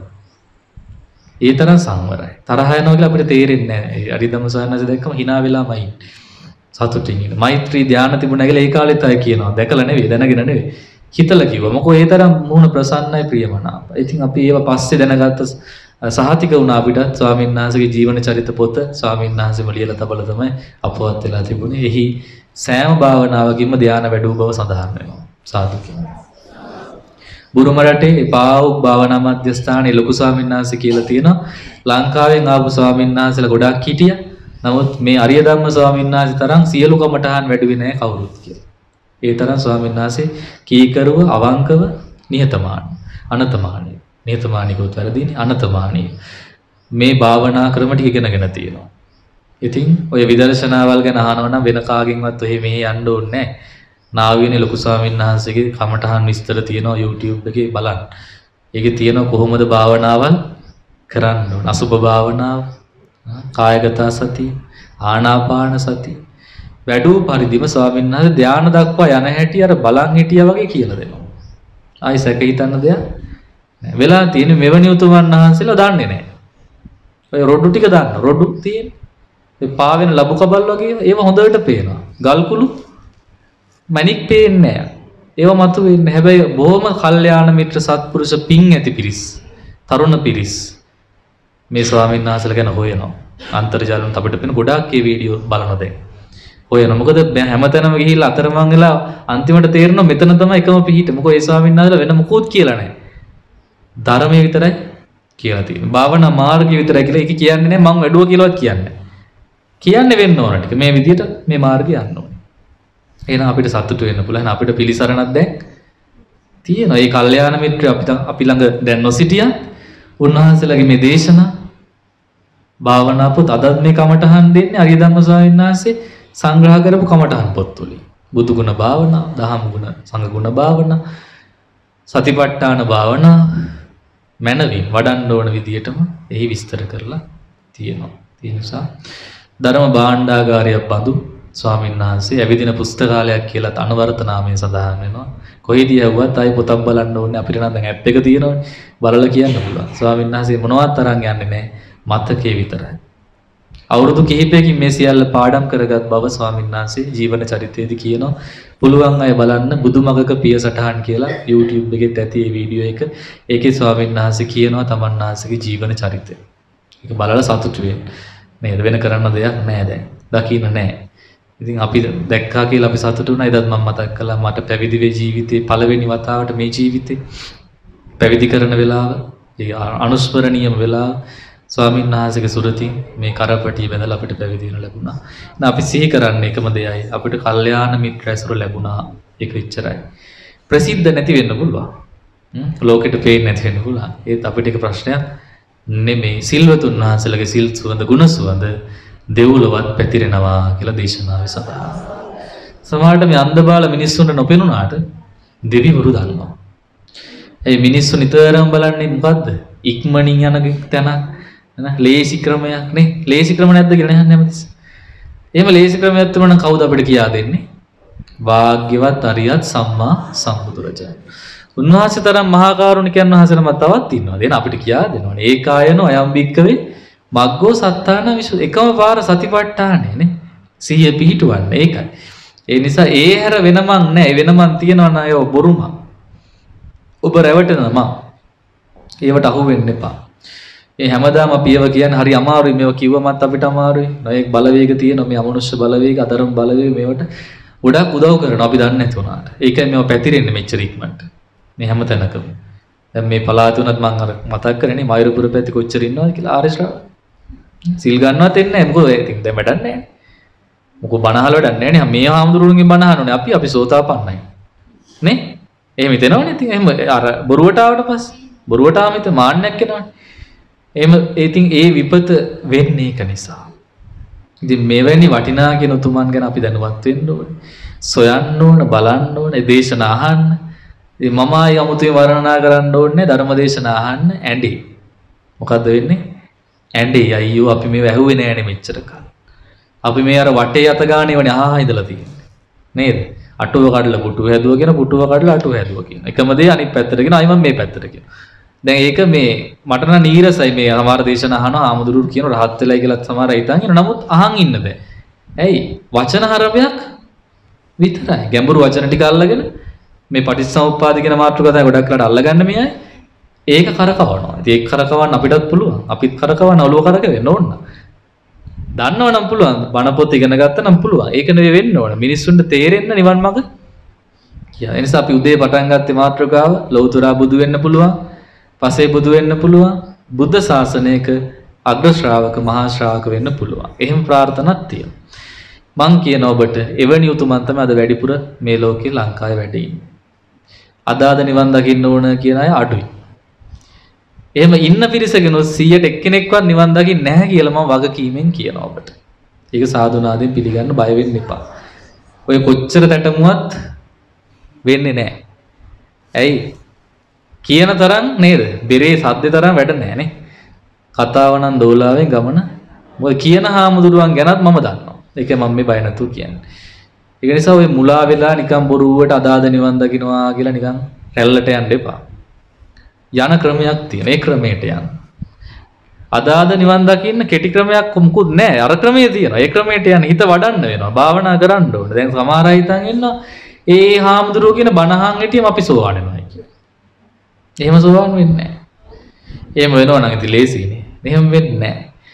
එහෙමනම් අපිට මාර්ගය පැහැදිලි තියෙනවා. මොකද්ද වඩන්න ඕන? සතර සතිපට්ඨාන. බුදුගුණ භාවනාවෙන් සමාධි වඩලා බැරිද නිවන් දකින්න? පුළුවන්. එහෙම නිවන් දකපු අය මතක් කළොත් වක්කලි ස්වාමීන් වහන්සේ. ඒ වගේම කටකන්දරක වාසී පුස්සදේව මහරහතන් වහන්සේ. බුදුගුණම වැඩුවේ. බුදුගුණ වඩමින් නම දින වෙලාවේ දැන් ඔන්න එනවා මාරදිව්‍ය පුත්‍රයා. ඇයි? මේ ස්වාමීන් වහන්සේගේ භාවනාවට බාධා කරා. මුලින් ඇවිල්ලා වඳුරෙක් වගේ කොල කඩලා දාලා ගියා. දෙවෙනි පාර දවසේ හැමදලා ඉන්නකොට එනවා හරකෙක් ඇවිල්ලා බෙටි දාලා යනවා. තුන්වෙනි දවසේ හැමදලා ඉන්නකොට එනවා මේ කන්දක් උඩනේ තියෙන්නේ මේක. කටකන්දර කියන්නේ කන්දන්නේ. කන්ද උඩට එනවා කොරගහ මිනිස්සේ. ඇවිල්ලා අර කකුල ඇද ඇද යනවා වටේට. කල්පනා කරා මේක නම් වෙන්න බෑ. මුල් දවසේ වඳුරෙක් ඇවිල්ලා කොළ ගැඩුවා. දැන් දෙවෙනි දවස් සමාධිය ටිවියක එනකොටම හරකෙක් ඇවිල්ලා මේක කැත කරලා ගියා. අද මේ කොර මිනිස්සෙක් කෙනා කකුල ඇද ඇද එනවා. මේ කන්දේ කොහොම යාවේ? මේ නම් ඒකාන්තයෙන් මාරදිව්‍ය පුත්‍රය වෙන්න ඔබ මාරයා නේද කියලා මාරදිව්‍ය පුත්‍රගේ සිරිතක් තියෙනවා බොරු කියන්නේ. ඇහුවොත් ආ ඔව් කියලා පෙනී හිටියා. කිව්ව ඔබ එහෙනම් බුදුරජාණන් වහන්සේ දැකලා තියෙන්නේ ඒ කාලේ හිටියනේ. ඔව් දැකලා තියෙනවා. බැරිද මවල පෙන්නන්න? පුළුවනි පුළුවනි දැන් දෙවඩි වෙන්නත් බෑ. මොකෝ කරේ? මවලා පෙන්නවා. එකයි අඩු. ඌරණ රෝම ධාතු විතරයි. දැන් මාරදිව්‍ය පුත්‍රයාවේ නිවන් දකින්න අඩාල කරන්නේ. එතුමම දන්නේ නැතු උදව් කළා. කොහොම උදව් කළේ? මේ බුදුගුණම වඩා තිබිච්ච අප්‍රමාණ ශ්‍රද්ධාව පෙතිරි තිබිච්ච මේ පුස්සදේව ස්වාමීන් වහන්සේට ජීවමාන බුදුරුව දැකීමෙන් ඇති වුණා මේ කෙලෙස් සහිත මායාවේ රුවත් මෙච්චර ලස්සන නම් ජීවමාන බුදුරුව කොයි තරම් ලස්සන ඇද්ද ප්‍රකාශද ඇද්ද. ඒ මොහොතේම සති සමාධි ඥාන වැඩුණා, විදසුන් ඥාන 10 වැඩුණා, සෝවාන් වුණා, සකදාගාමි වුණා, අනාගාමි අරිහත් මාර්ගඵලයෙන් අමා මහ නිවන සාක්ෂාත් කළා. ආවේ වෙන එකකට වුණේ වෙන වැඩක්. මම වැඩ ගත්තා. එහෙම වැඩ ගන්න පුළුවන් බුදුගුණ වඩලා තියන අයට. ඒ කියන්නේ ස්වාමීන් වහන්සේ දැන් පොත්වල ලියලා දෙනවා කෝටි ගාණ මට මතක නැහැ ගාණ. කෝටි ගාණක් බුදුගුණ වඩලා තියනවලු. ඒ ගණන් කරපුවා ගණන් නොකර වඩපුවා. බුදුගුණ පිටක් ඉතින් බුදුගුණ වඩලා නම් මේ නායක ස්වාමීන් වහන්සේ අපේ අරියදම්ම ලොකු ස්වාමීන් වහන්සේගේ පොතේ තියෙන්නේ කෝටි ගාණ. කෝටි ගණනක් බුදුගුණ වඩලා තියෙනවා. බුදුගුණ පිරිතක් වගේ ඇඟ මුළු ශරීරය. ඒ හිතන්නේ බුදුගුණනේ. දැන් බුදු බව පතන උතුමන්ගේ සිරිත තමයි බුදු ගුණ සීකරන වැඩිපුර. ඇයි? හිත නැමෙන්නේ මෙතෙන්ට. එතකොට එවැනි උතුමන්ගේ වටිනාකම් අර කලින් දේශනාවෙත් අපි ඇහුවානේ නේ පොඩ්ඩක් අපියට ඇඬුණත් එක්කනේ. ඇයි අතටපත් නිවන් අතහැරලා අපි වෙනුවෙන් සසරට බැස්සේ. දැන් මේ කියන රැල්ලට එදත් තිබුණා නම් රැල්ලක් ඒ කාලේ හැටියට. හොඳ වෙලා ටීවී රේඩියෝ තිබුණ නැත්තේ. තිබුණා නම් එහෙම මේ සුමේද පණ්ඩිතයන් වහන්සේලා හිතනවා දැන් එහෙනම් බුදු වෙන්න ඕනේ අදාදම එහෙනම් නිවන් දකින්න අපිට අද ගෞතම සාසනේ නැති වෙලා. එහෙම හොඳ වෙලාවට තිබුණ නැත්තේ. ඒ නැතත් අභිඥාලාභී යතුමන් වහන්සේට අනාගතේ පෙනුණා. ඒ පෙනීම නිසා උන්වහන්සේ දැනගත්ත මම පතන් ආවේ මේකයි. මං කරන්න ඕනේ මේකයි. එතන විස්තර කරන උපමා ටික නේද? කල්පයක් නමුත් අපායේ පැසෙන්න සූදානම් ලෝතුරා බුදු වෙන ලැබෙනවා නම්. මුළු පෘථිවිය පුරාම අඟුරු වතුර තිබිලා මේ කොනේ ඉඳන් ඒ කොනට අඟුරු මතින් යන දුන්නොත් ඒකත් යනවලු. මොකටද? බුදු බව ලැබෙනවා නම්. මා සයුර තරණය කරන්න දෙනවා පීනගෙන ඒත් කරන්නයි. මොකටද? ආන්න එහෙම වීරයක් තියෙන උතුමන්ට විතරයි ලෝතුරා බුදු වෙන්න පුළුවන්. හිත උපමණින් හැමෝටම බුදු වෙන්න බෑ. කියනවනේ ඉතින් යමා මහ පෙළහැර දැකපු අය. දේවරෝහණ පූජා රිනිමන් වලින් භාග්‍යතුන් වහන්සේ බැස්සේ. මුළු ලොවට පෙනිපෙනි බුදු බව ලැබේවා කියලා නොපතපු කෙනෙක් නැහැලු. ඒ තරම් සංකස්සපුරේට වෙලා. ඒ තරම් සතුටෙන් මිනිස්සු බුදු බව පතලා තියෙනවා. නමුත් ඒ හැමෝටම සිද්ධ වෙන්නේ නෑ. පෙරම් පුරණ ශක්තිමත් අය විතරයි ඒ බව ලැබෙන්නේ. ඉතින් ජීවමානව අපි එවැනි ස්වාමීන් වහන්සේලා කිහිප නමක් දැකලා තියෙන. ඒ දෙනමක් තමයි අතිපූජනීය කඩවැද්දු ජිනවාස ලොකු ස්වාමීන් වහන්සේ මතුලෝතුරා බුදු වේවා කියලා පතමු. අතිපූජනීය නාවිනේ අරියදම්ම ලොකු ස්වාමීන් වහන්සේ මතුලෝතුරා බුදු වේවා කියලා පතමු. හෙටක් ගැන නොසිතන අදක් ගැන විතරක් සිතන අයට නම් ඕවා ඉතින් වැඩක් නැහැ. අද විතරයි අද ඊටිය කාලා බිව්ව අද ඉවරයි අදින් ඉවරයි. එහෙමද? නෑ මේ සත්වය කොයිතරම් අනාගතේ සසර යයිද? තව නිරයවල වල ඉන්න අය කොච්චර එන්නව ඉන්නවද එළියට? කෝටි ගණන් ඉන්නවා ප්‍රකෝටි ගණන් අසංඛ්‍ය ගණන් නිරසත්වයෝ. ඒ අය නිවන් දකින්නේ නැද්ද? දකින්න ඕන. අපි වගේම අයනේ. අපිත් එහෙමනේ. දැන් අපිත් තාම නිවන් අවබෝධ කරගෙන අපිටත් පිහිටක් ඕනනේ. ඒ නිසා එවැනි උතුමන්ගේ දැකීම දර්ශනය ආශ්චර්යයි, අద్භූතයි, වාසනාවන්තයි. මෙවැනි උතුමෙක් කියලා අහන ලැබීම පව කොච්චර උතුම් දෙයක්ද නේ? දැන් ඒ ස්වාමීන් වහන්සේලගේ ජීවිත චරිත බලනකොට අපිට පේන මේක වචනෙට කියපු එකක් නෙවෙයි. ඇත්තටම උන්වහන්සේලා පෙරම් පුරන් ඇවිත් තියෙනවා. ඒ ශක්තිය නිසා නේද මේ දහස් ගණන් භික්ෂු පිරිසක් අද ඇති කරලා තියෙන්නේ. සිය ගණන් සේනාසන ඇති කරලා තියෙනවා මේ ලංකාව පුරා. ඒවයි සිල්වත් ගුණවත් ස්වාමීන් වහන්සේලා අද වැඩ ඉන්නවා. ඇත්තටම ගොඩාක් ස්වාමීන් වහන්සේලා මාධ්‍ය වලට වඩින්නෙත් නැහැ. උන්වහන්සේලා අප්‍රකටව ඉන්නේ. ඔය සෙනසුන් තියෙන නාවියන සෙනසුනට ඔබට ගියොත් 250කට අධික ස්වාමීන් වහන්සේලා බලාගත හැකි. සමහර අපේ උපාසක මහතුරින්ව ගිහපු අයනේ. අභිධර්ම පන්ති වලට එහෙම සහභාගී වෙච්ච තිස්ස මහරහා පිරිස ගිහින් තියෙනවා. ඉතින් ඒ ස්වාමීන් වහන්සේලා දැකලා බලාගෙන තියෙනවා. ඒ අතර අපි දන්නවද ධානලාභී කොච්චර ඉන්නවද කියලා? දන්නේ නැහැ. ඒ තරම් ඉන්නවා ස්වාමීන් වහන්සේලා. මීතිරිගල නිස්සරණ වණේ කියන්නේ භාවනා වඩපු වඩන ස්වාමීන් වහන්සේලා ඉන්න තැන.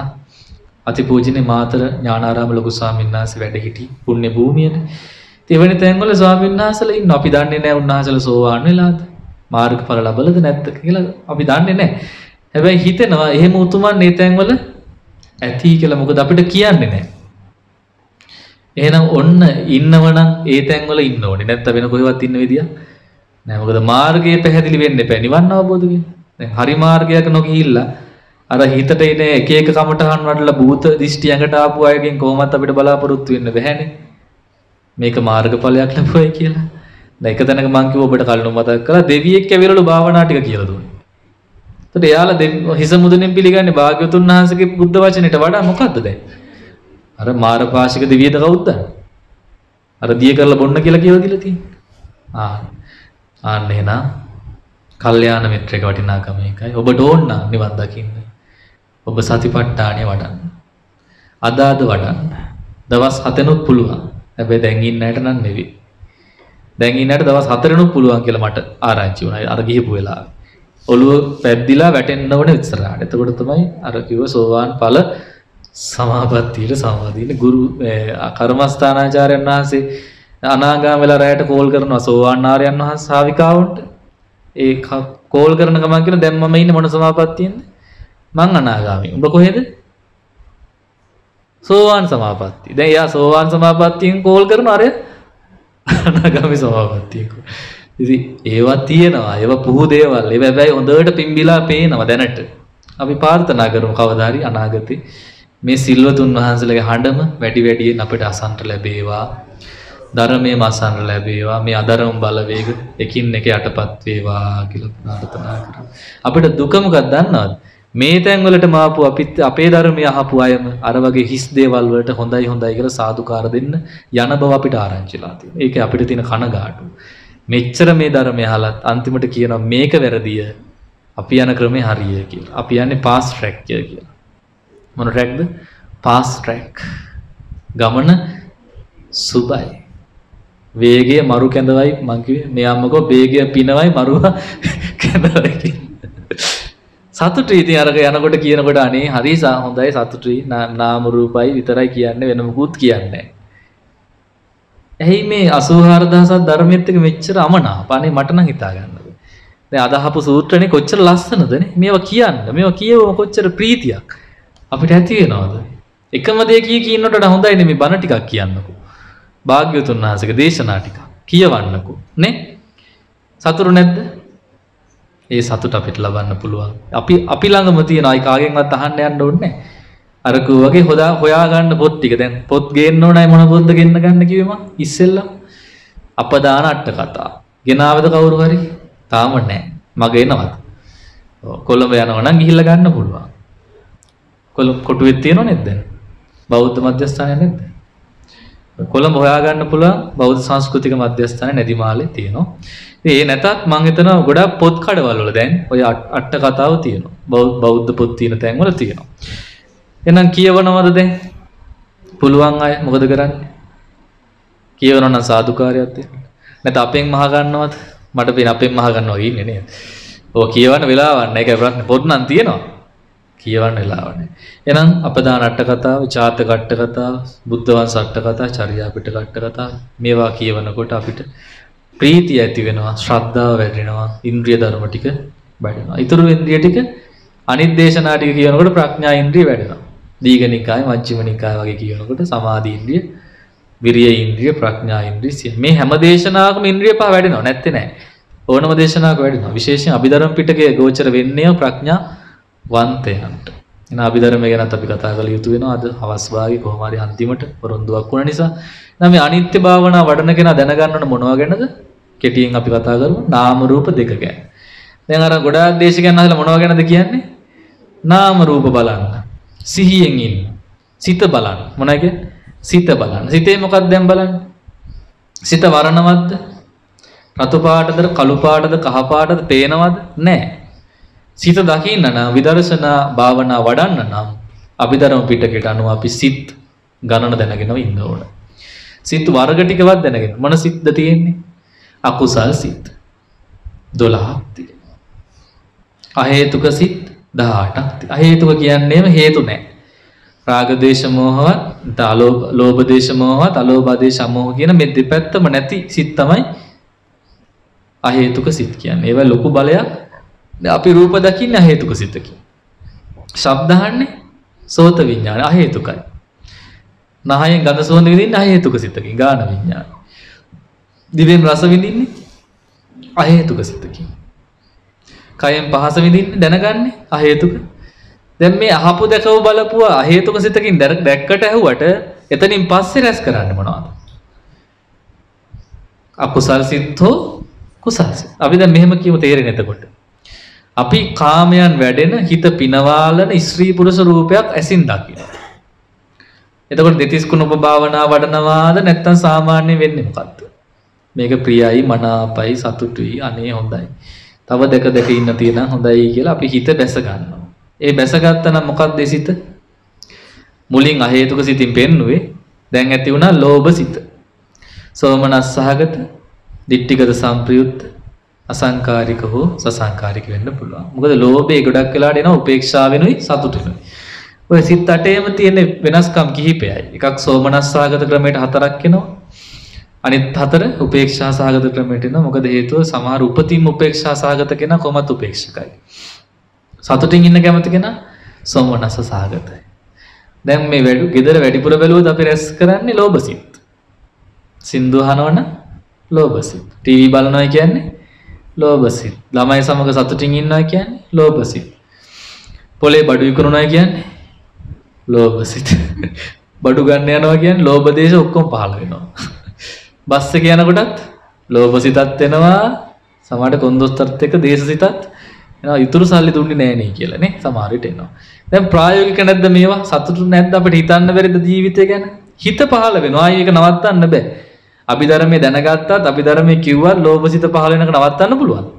එන එක ධර්මතාවයක්. හිතේ පහළ වෙන දේවල්. මෙතන වෙන්නේ එක දැනගන්න එක. මෙහෙම සිතක් මට පහළ වුණාය. අර කිව්වා hina වෙන්නේ මොන සිතින්ද? ලෝභ සිතින්. ආ මං hina වුණා ලෝභ සිතක්.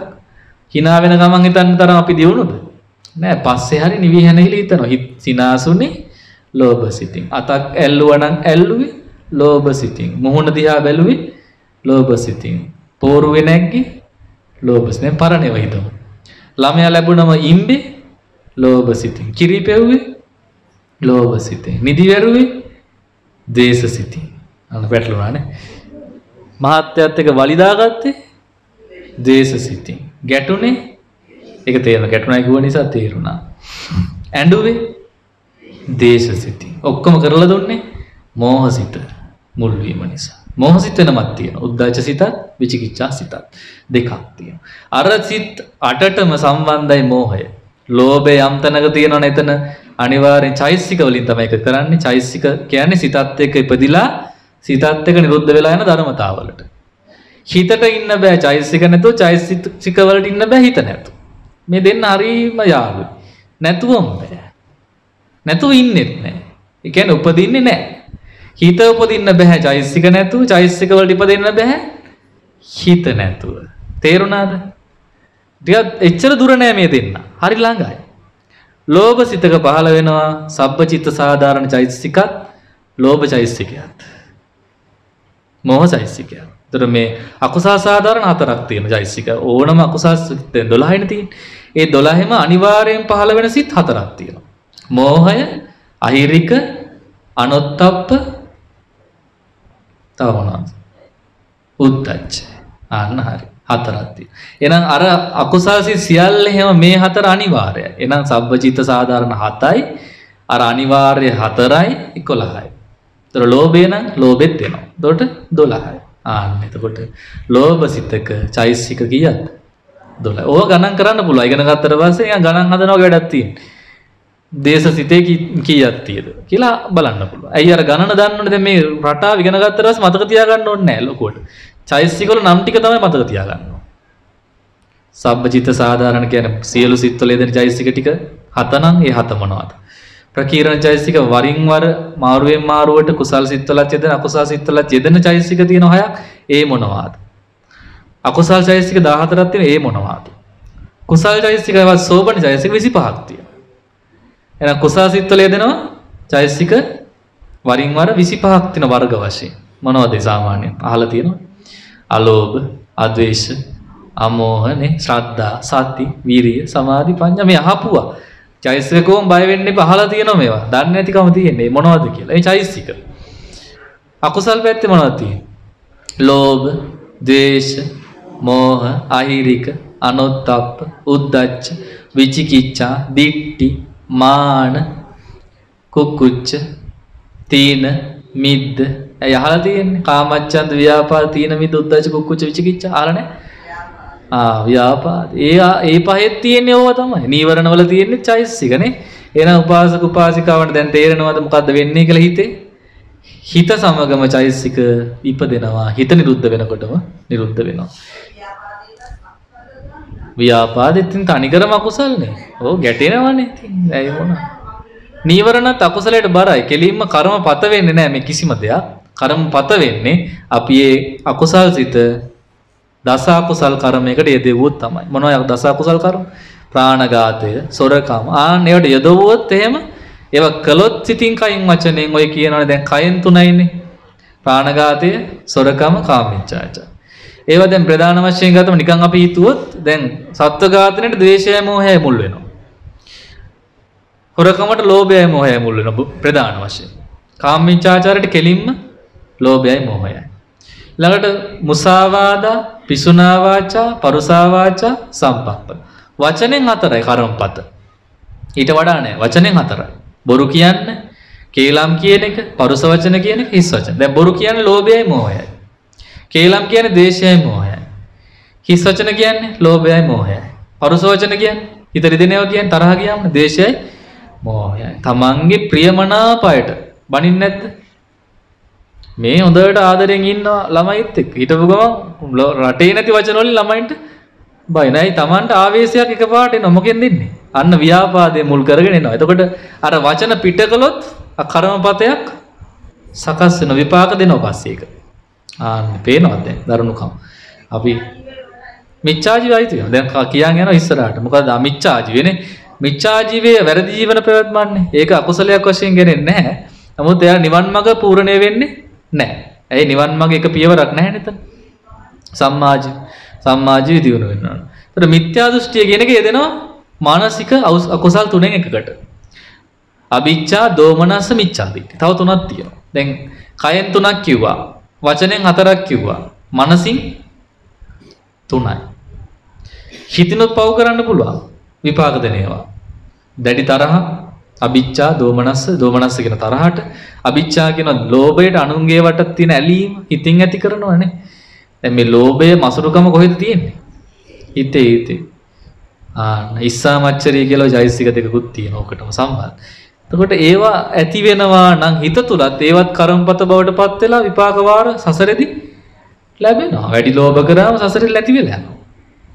දැඩි තරහ ඇති කරගත්තම විරූපී වෙලා ඉපදෙනවා. නිතර තරහ ගන්න අය ලස්සන වෙන්නේ දැන් උනත් මොකද වෙන්නේ දැන්? අද තරහ ගන්නවා නම් නිතර. මොහොන අප්‍රසන්න වෙනවානේ හෘද රෝග ඇති වෙන වැඩි වෙනවා. ඊළඟට මිච්ඡා දිට්ඨි මෝහය මුල් වෙලා. මෙලොව පරලොව නැහැ මව්පියන්ට සලකලා වැඩක් නැහැ ආදි වශයෙන් එනවා. දැන් මේවා සම්බන්ධයි මොනවටද චෛසිකත් එක්ක අකුසල් චෛසිකත් එක්ක එකතු වෙලා සසර ගමන දික් කර දෙනවා මේ හැම එකකින්ම විපාක දෙන්නේ නැති වෙන්න පුළුවන් ලොකු කරම්පත නොවන ඒවට නමුත් අර ලෝභ සිතින් ඉන්න ඉන්න ඉන්න මොකද වෙන්නේ? සසර සසර දික් වෙනවා. සසර ඉන්න හිතනවනේ ඉන්න වෙනවා. එහෙනම් දැන් ගෙදර ඇලි ඇලි ඉන්නවා කියන්නේ මොකක්ද? සසර දික් වෙනවා. ආරන්ට ආවා කියන්නේ මොකද්ද? හසර කෙටි වුණාදනේ. දැන් මේ දවස් ගෙදර හිටියනන්නේ ඔය බලාගෙන අනේ ටීවී එකේ යන කතා ටික බලාගෙන ගණන් කර කර පාරේ යන වාහන ගණන් කර කර නේ ඉන්නේ වෙන වැඩකුත් නැහැ. ඔව් නෑදෑයන්ට සංග්‍රහ කරගෙන නේද? තේ විවි උදෙත් තේ බොනවා ඊපස්සේ හවස 3-4ටත් තේ බොනවා බිස්කට් කනවා රැට ඉතින් ආයි වියනවා නේ. ඔව් ළමයි බලා ගන්න. ළමයි බලා ගන්නකොට තරහ යනවා. දැන් පින් සිද්ධ වෙනව නෙවෙයි ළමයි බලා ගන්න. කියන දේ ඇහුවේ නැත්තම් ගහන කෝටු වරා. මොන සිද්ද? දේශසිත අකුසල් සිත් මොකෝ මෛත්‍රියෙන් ගහන්න බෑනේ තරහ ඉවලට තරහ යනවා දත් කුරු කාලානේ. එහෙමනේ ගහන්න ඕනේ. නැත්තම් ළමයි බය වෙන්නේ නැහැ. hina වී ගහලා හරියන්නේ නැහැ. එතකොට බය බලෙන් මවා ගත්තත් මේක හිත ඇතුලේ වැඩ කරලා තියෙනවා දේශය. දේශිත වැඩනවා නේද? මෛත්‍රිය තමයි තියෙන්නේ තියන් හිටියේ. නමුත් එකපාරට දේශයට දැන් අපි කියනවා එක දිගට එක දෙතුන් වතාවක් යම් දෙයක් කරන්න එපා කියලා ළමයින්ට. කරොත් මුන්ට කොච්චර කිව්වත් තාන්නේ නේ කියලා අන්න පටන් ගන්නවා ගන්න කෝටු අහුවෙන්නේ කොස්සද කමන්නේ ගහනවා අල්ලගෙන. ඇයි මේ දේශයාවට පස්සේ ප්‍රශ්නේ මේකයි අතට අහුවෙන එක තමයි ගන්න. පීයක් අහුනොත් එහෙම ගහනවා දැන් එහෙම ඉතින් අකුසලයක් තමයි ඉතින් තව කෙනෙක්ට ගහනවා කියන්නේ කුසලයක්ද? රිදෙනවනේ. නේද? අපිටත් ගුටි කන්න සිද්ධ වෙනවා. ඒකයි කියන්නේ. දැන් බල්ලෙට ගල් ගහනවා. කකුල කැඩෙනවා. අපේ කකුලත් කැඩෙනවා නේ. එහෙනම් පරිස්සම් වෙන්න. මේ අභිධර්මය දැනගත්තම ලොකු සසර බයක් අපිට ඇති වෙනවා. මේ සිත කොච්චර ඉක්මන් වේගවත්ද? මේ සිත් කොච්චර පහළ වෙනවද? තප්පරයට කෝටි ප්‍රකෝටි ගණනක් පහළ වෙන බව තියෙනවනේ. එහෙනම් මේ ජවන වාර කීයක් පහළ වෙනවද? අඩුමතර ලක්ෂයක් පහළ වුණා. කියමු තප්පරයකට නැත්නම් විනාඩියකට අඩුමතර නැත්නම් බය වෙනවනේ. ඒ ජවන වාර ලක්ෂයට විපාක වාර තියෙනවා. රැස් කරොත් අකුසල කර්මය. කුසල් කර්මය. ඒකනේ වැඩි බණ අහන්න කිය. පැය ගණන් මේ බණ කියන්නේ මම ඒකනේ. ඇයි ජවන් වාර වැඩි?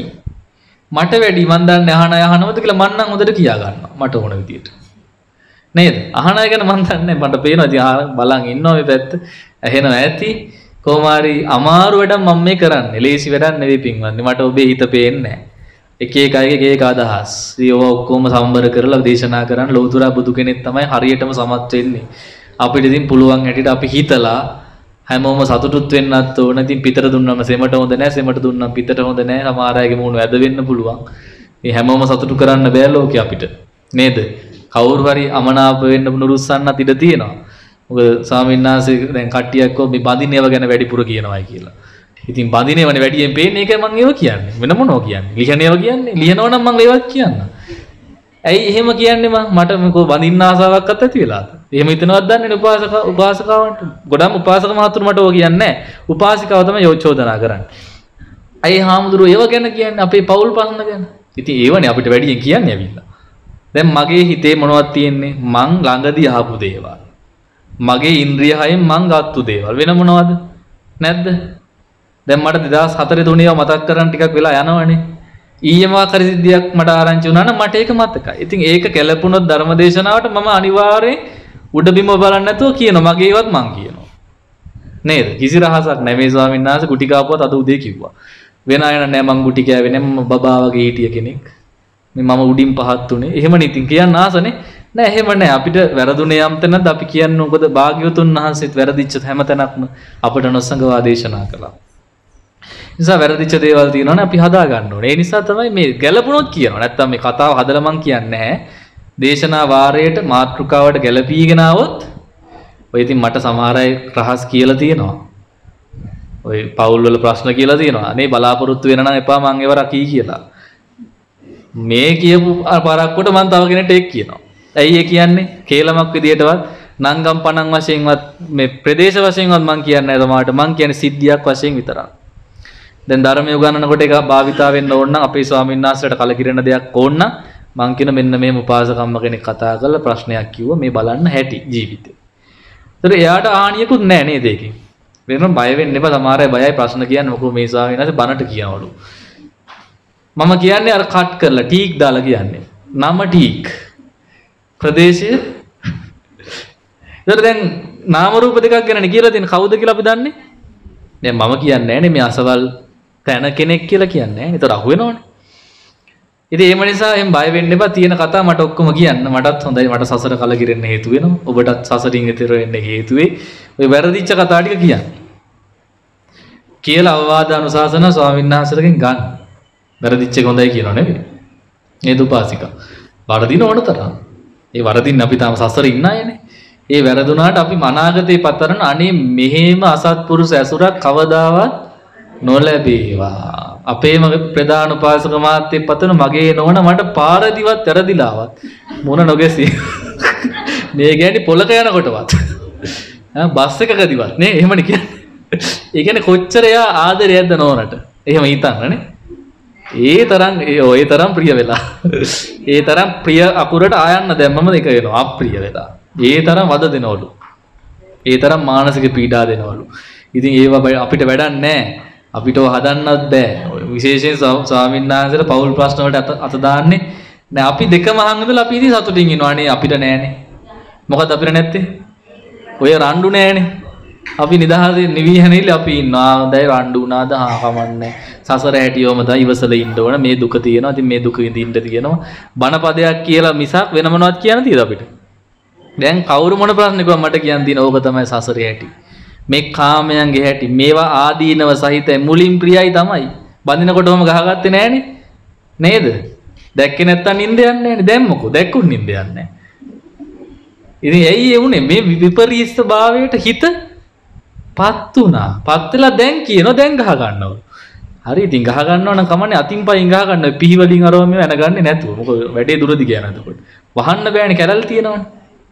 හරි එහෙනම් ඔහොම තමයි කාම ලෝකේ හැටි විතක සැපයි විතක දුකයි නිකන් වලන් ගියාම නිකන් පිස්සුත් වගේ වෙලාවට. කිසි වැඩකුත් නැහැ වගේ.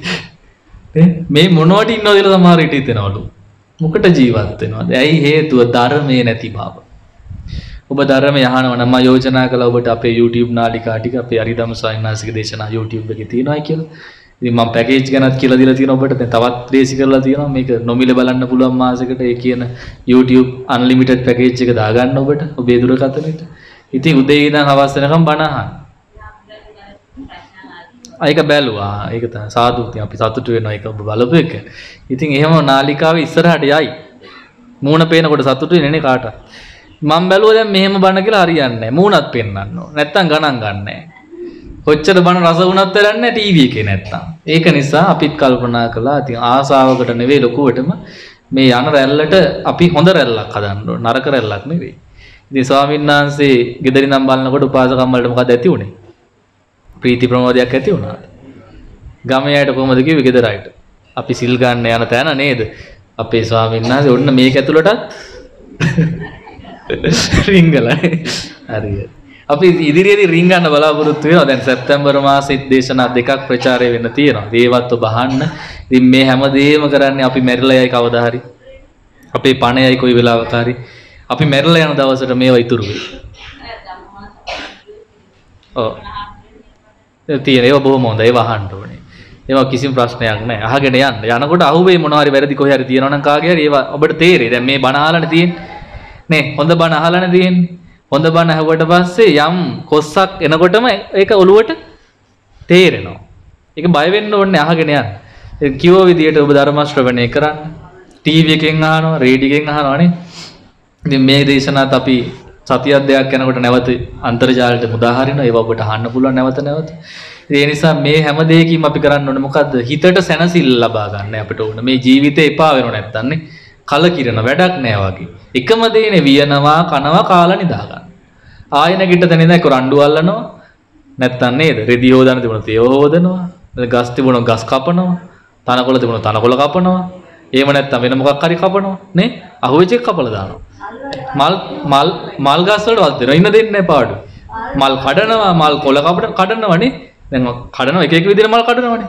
ගහේ මලුත් කඩනවා ටෙලිෆෝන් එකනුත් කඩ ආයකනු කඩනවා. එතකොට ඒ කඩන ගම සමහර ගෑනු ළමයි කොලත් කඩනවා. ගහේ කොලත් කඩනවා. දැන් මේ කාලේ හැටි මේ උපාසකම් වල පහු කරලා ආවේ දැන් ඔය නිකන් අකමැති වගේ හිටියට ඒ කාලේ ඉතින් ඔය ඔය උපකරණ යන්ත්‍ර තිබුණේ නැහැ ඔය කඩන්න. ඊළ වැටවල් අයිනට වෙලා මෙහෙම කතා කර කාලයක් තිබුණනේ නේද? පළවෙනි වැටෙන් එහා පැත්තේ, යා එහා පැත්තේ, මෙහා මෙහා පැත්තේ.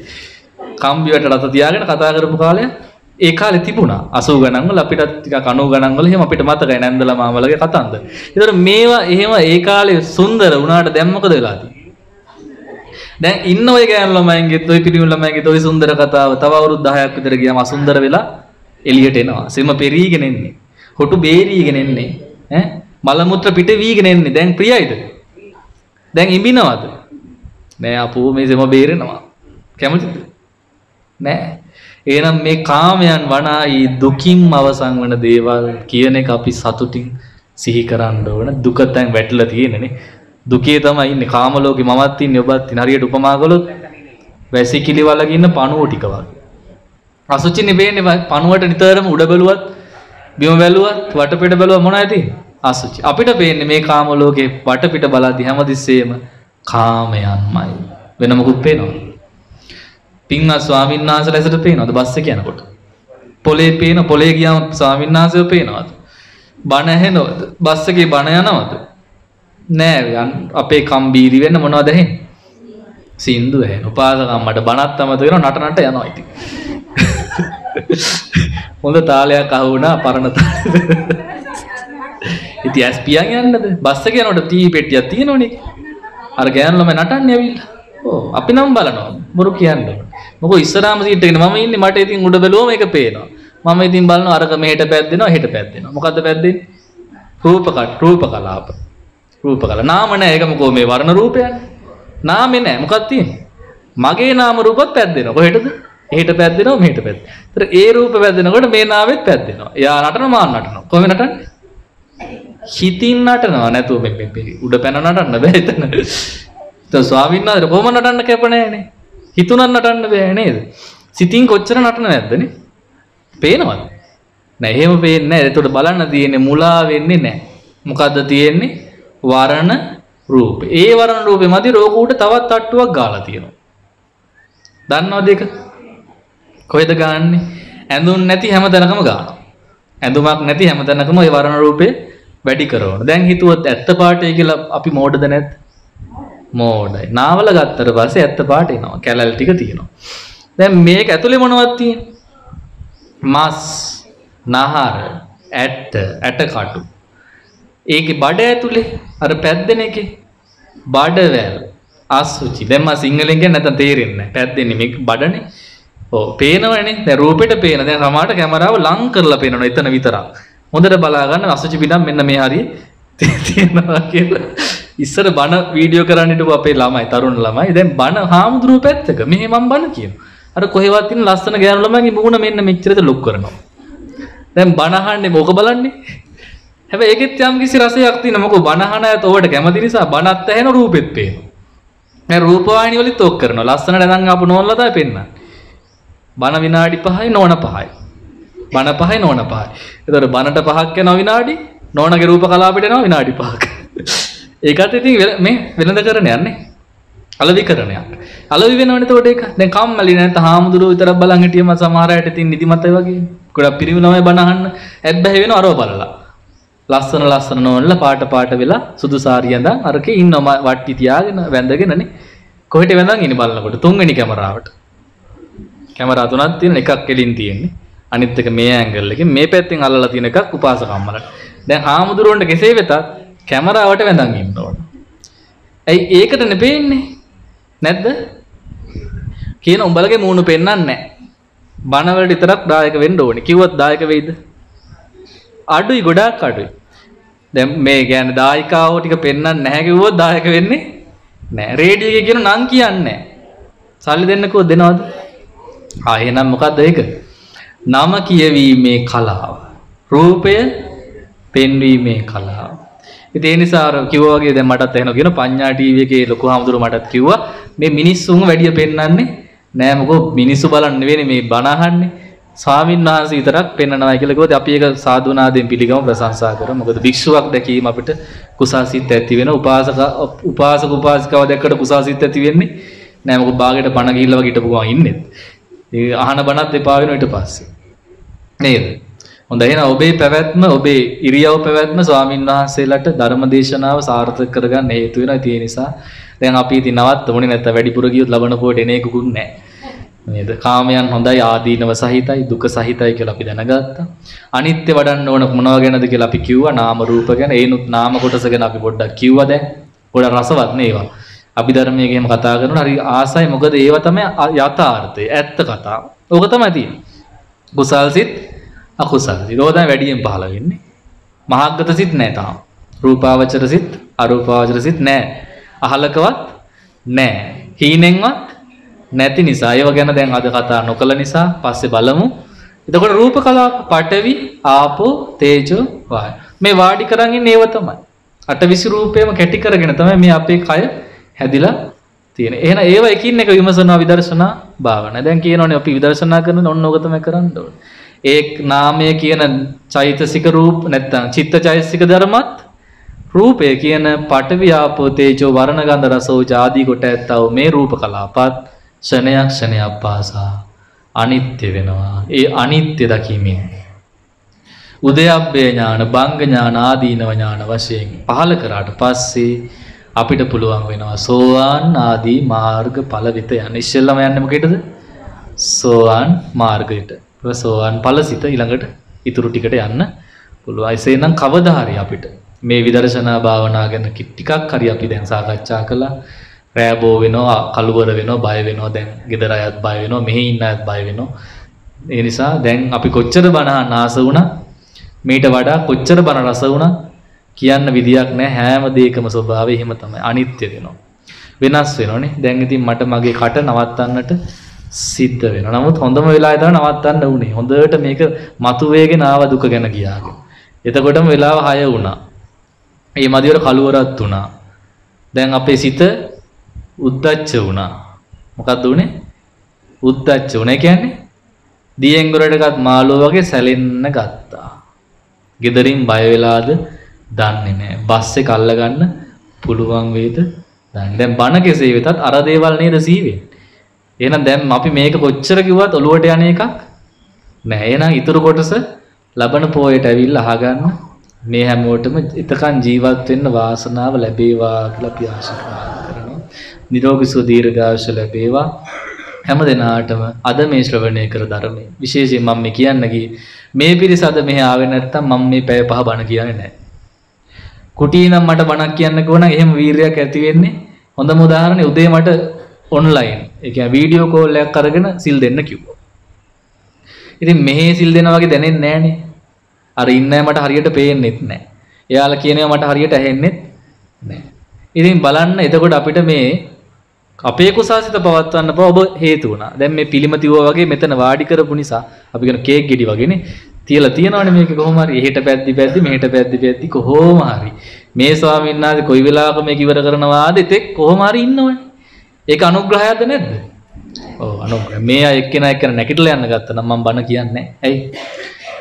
කියන්න බෑ. ඇයි වික්ෂිප්ත වෙනවා. දැන් කට්ටිය කතා වෙනවා, ටෙලිෆෝන් නාද වෙනවා, අ, වටපිට බලනවා, උඩ බිම බලනවා, යන්න ඕන වගේ. එතකොට වෙන්නේ මොකද්ද? වීරය අඩාල. දැන් ඒක ඉතින් වෙලා ඉවරයි. දැන් නමුත් ඉතුරු කාලය උදේ 7 ඉඳගෙන හවස 6 දක්වා මේ මුළු කාලය මේ ස්වාමීන් වහන්සේලාට කුසල් සිත් ඇති කරන්න ඔබත් දායක වුණා කියලා සාදු කියලා සතුටු. මේ බස් රථවල නැගීලා උදේ සැරසිලා මෙහි ආවේ නැත්නම් ස්වාමීන් වහන්සේලාටත් අද පින් කරගන්න ලැබෙන්නේ නැහැ. අපි රැස් කළ පින මහේ සාක්‍යයි මහානුභාව සම්පන්නයි අසංකේයයි අප්‍රමේය අනන්තයි ප්‍රඥා පාරමිතාවක් වුණා. ගොඩක් මහන්සි මොකද මේවා හිතන්න ඕන මේවා කියන්න ඕන හරියට කියන්න ඕන වැරදුනොත් ඒකත් බලන් ඉන්න කට්ටිය. නිසා ඒවා කල්පනා කරලා විතක්ක ਵਿਚාර පහල කරලා වචනවල රටාව ගලපලා නේද? උපාසිකාවන නිින්ද යන්නේ නැති වෙන්න මේවා කරනකොට එච්චරම ලේසි නැහැ. ටිකක් හවස් 4 5 වගේනකොට උණ හැදෙන්න වගේත් ආවා. දැන් ටිකක් උණ අඩු වුණා. බණ කිව්ව නිසා. ඊට පස්සේ උණ හැදේද කියලා දන්නෙත් නෑ. ඉතින් උණ හැදුනත් මොන වුණත් අපි අපේ වැඩ අපි තනියෙන් බලා ගන්න ඕනේ උපාසකම්මල ඒකට දුක් වෙන්න එපා. ඔව් කනගාටු වෙන්නේ මං කිව්වේ මේ මහන්සි වෙනකොට එහෙම වෙනවා. නමුත් මහන්සි වෙන්නේ මොනවටද? අපටත් අමා මහ නිවන් දැකලා ඔබටත් ඒ අමා මහ නිවන් අවබෝධ වේවා කියන ප්‍රාර්ථනා.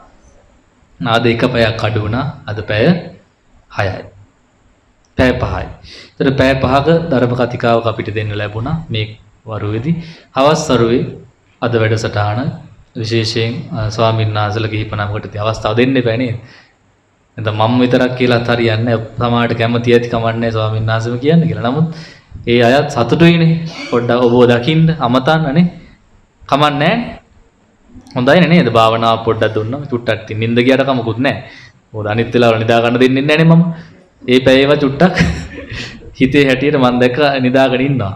හරි ඒක කමක් නැහැ. ඉතින් එතනින් එහා අවදි වෙලා හිටපු හැම වෙලාවකම ඔබට කුසාසිත ඇති වුණා. අපිට කුසාසිත ඇති වුණා. අපි බලවත් සතුටින් ප්‍රීතියෙන් ඌවනාවෙන් ප්‍රඥා පාරමිතාවක්ව මා ප්‍රාර්ථනා කරන බෝධියෙන් මට නිවන් දකින්න මතුමත් හේතු වේවා කියන අදහසින් මා විසින් භාග්‍යවතුන් වහන්සේගේ ධර්මය අද දේශනා කළා මේ පිරිසත් සදහැ සිතින් ඔබ ප්‍රාර්ථනා කරන බෝධියෙන් ඔබට නිවන් දකින්නට ධර්මය ශ්‍රවණය කළා ඒ පාරමිතාව ප්‍රඥා පාරමිතාව දැන් අනිත් එද අපිට තේරෙන්නේ නැහැ බිම වාඩිලා ඉන්න එකේ අමාරුව. මොකද අපි වාඩි වෙලා ඉන්නේ නැහැ. ඉතින් ඒ අමාරුවත් විඳගෙන නේ. කොන්ද රිදෙනවානේ.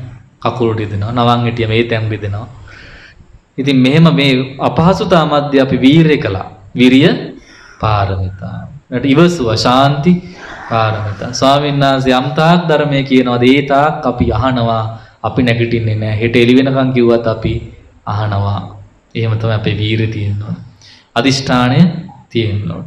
ඉවසීම තියෙන්න ඕන. එහෙනම් තාම 6යිනේ හෙට උදේ 6ට තමයි බණ අවසන් වෙන්නේ. එහෙම කිව්වොත් වීර කරනවද?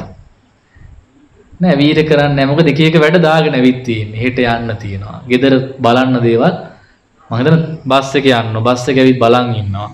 නැත්නම් බස් එකේ යවලා මෙයාලා තියන්නද? මොකද කරන්නේ? නැත්නම් උදේ වෙනකම් බස් එකේ හිටියොත් ඉන්නවද? ඉන්නවද? ඔව් තාම නෑ. තාම එක හඬක් නෑ නේ. ඒ කියන්නේ තාම සූදානම් නෑ නේද? ඔබ සූදානම් වෙච්ච දවසක කියන්නේ අපි එහෙම වුණොත් රැයටත් බණක් කියන ලෑස්ති කරමු අනාගතේ. දැන් වස් කාලෙත් ආව නිසා පොඩි වෙනසක් අපි කරන්න බලමු නේ යම්. රැයට ඉන්න අය දැන් කතා කරගෙන දැන් ඉන්නවා කොට අන්තිමට අර ආඩි හත් දෙනා කැඳ හැලිය වගේ. ඒ ඒ කියන්නේ මිටි මොලවන් එනවා අත දානවා. අන්තිම උණු වතුර විතරයි බීලා දෙක කැඳ නැහැ. ඒ වගේ අරයා කියනවා මෙයා ඉඳි මෙයා කියන අරයා ඉඳි අන්තිම මොකද වෙන්නේ? මං විතරයි ඉතුරු වෙන්නේ. ඊපස්සේ මම සතුටින් බන්න කියලා තනියෙන් මං කුටියට යනවා. එහෙනම් ඒක පිළිවෙල වෙන්න ඕනේ. කියන්නේ හරියට කී දෙනෙක් ඉන්නවද? සංවිධානය වෙන්න ඕන නවතින්න පහසුකම් අපිට තියෙනවා. බණ කියන්නත් ස්වාමීන් වහන්සේ ඉන්නවා. එහෙනම් ඒකේ උපරිම ප්‍රයෝජනෙ ගන්න ඔබට පුළුවන් වස් කාලෙදිත් ඉතිරි පොයවල් වලදිත් තහනමක් අවසර තහනමක් නැහැ අවසර තිබෙනවායි කියලා අපි මතක් කරනවා මේ අයට එහෙනම් ඒවත් ඉදිරියේදී කරන්න බලාපොරොත්තු වෙමු. එහෙනම් අද ඇති නේද? ඔය වීරය වැඩි වුණාද? දැන් ප්‍රීතිය ටිකක් අඩු වෙගෙන වගේ යනවනේ. මෝනෙන් පේනවා. හරි හරි. එහෙනම් සාදුකාරයක් දෙන්න. නැත්තම් අච්චරලා කරගත්තු කුසල් ටික ඔක්කොම අර වතුර ඇදලා ඇදලා කලේ බිඳගත්තා වගේ. ඇයි ස්වාමීන් වහන්සේ අපි වෙලාවට ගෙදර යැව්වේ නෑ කියලා අකුසාසිතක් පහළ වේගෙන එනවා වගේ වේන පේනවා. එසේ නොවේවා කියලා අපි දැන් අවසන් කරන්න. එහෙනම් මේ හැම දිනාටම මේ ශ්‍රවණය කර ධර්මයේ වැඩූ සීලය, වැඩූ භාවනා, සියලු කුසල් සුවසේ පාරමි ධර්ම සපුරාගෙන ප්‍රාර්ථනා බෝධියෙන් උතුම් බුදු පසේ බුදු මහරහතන් වහන්සේල නිවී සැනසි වදාළ උතුම් අමා මහ නිවනින් සැනසෙන්නම ලැබේවාආශිරවා. ආකා සට්ටා චුබුම්මට්ටා දේවානාගා මහිද්දිකා පුඤ්ඥන්තං අනුමෝදිත්වා චිරංරක් කන්තු ශාසනං ආකා සට්ටාච බුම්මට්ටා දේවානාගා මහිද්දිකා පුඤ්ඥන්තං අනුමෝදිත්වා චිරංරක්කන්තු දේශනං ආකා සට්ටාච බුම්මට්ටා දේපානාගා මහිද්දිකා පුඤ්ඥන්තං අනුමෝදිත්වා චිරංරක්කන්තුතුවං සදා සාදු සාදු සාදු. සැදැහැවතුනි ඔබ සවන්දුන් එම ධර්මානු ශාසනාව පැවැත් වූ දේශකයාණන් වහන්සේ හම්බන්තොට උඩමලල වෙහෙරගල ආරණ්‍ය සේනාසනයේ ප්‍රධාන අනුශාසක පූජ්‍යපාද රිදියගම ඉන්දාලෝක ස්වාමින්ද්‍රයන්න් වහන්සේ. අපේ ස්වාමින්ද්‍රයන්න් වහන්සේ ඉටු කරන ශාසනික සේවාවන්ට තව තවත් ශක්තිය ධෛර්යය සහ නිදුක් නිරෝගී සුව චිරජීවනය අපි ප්‍රාර්ථනා කරමු. ඔබට තෙරුවන් සරණයි.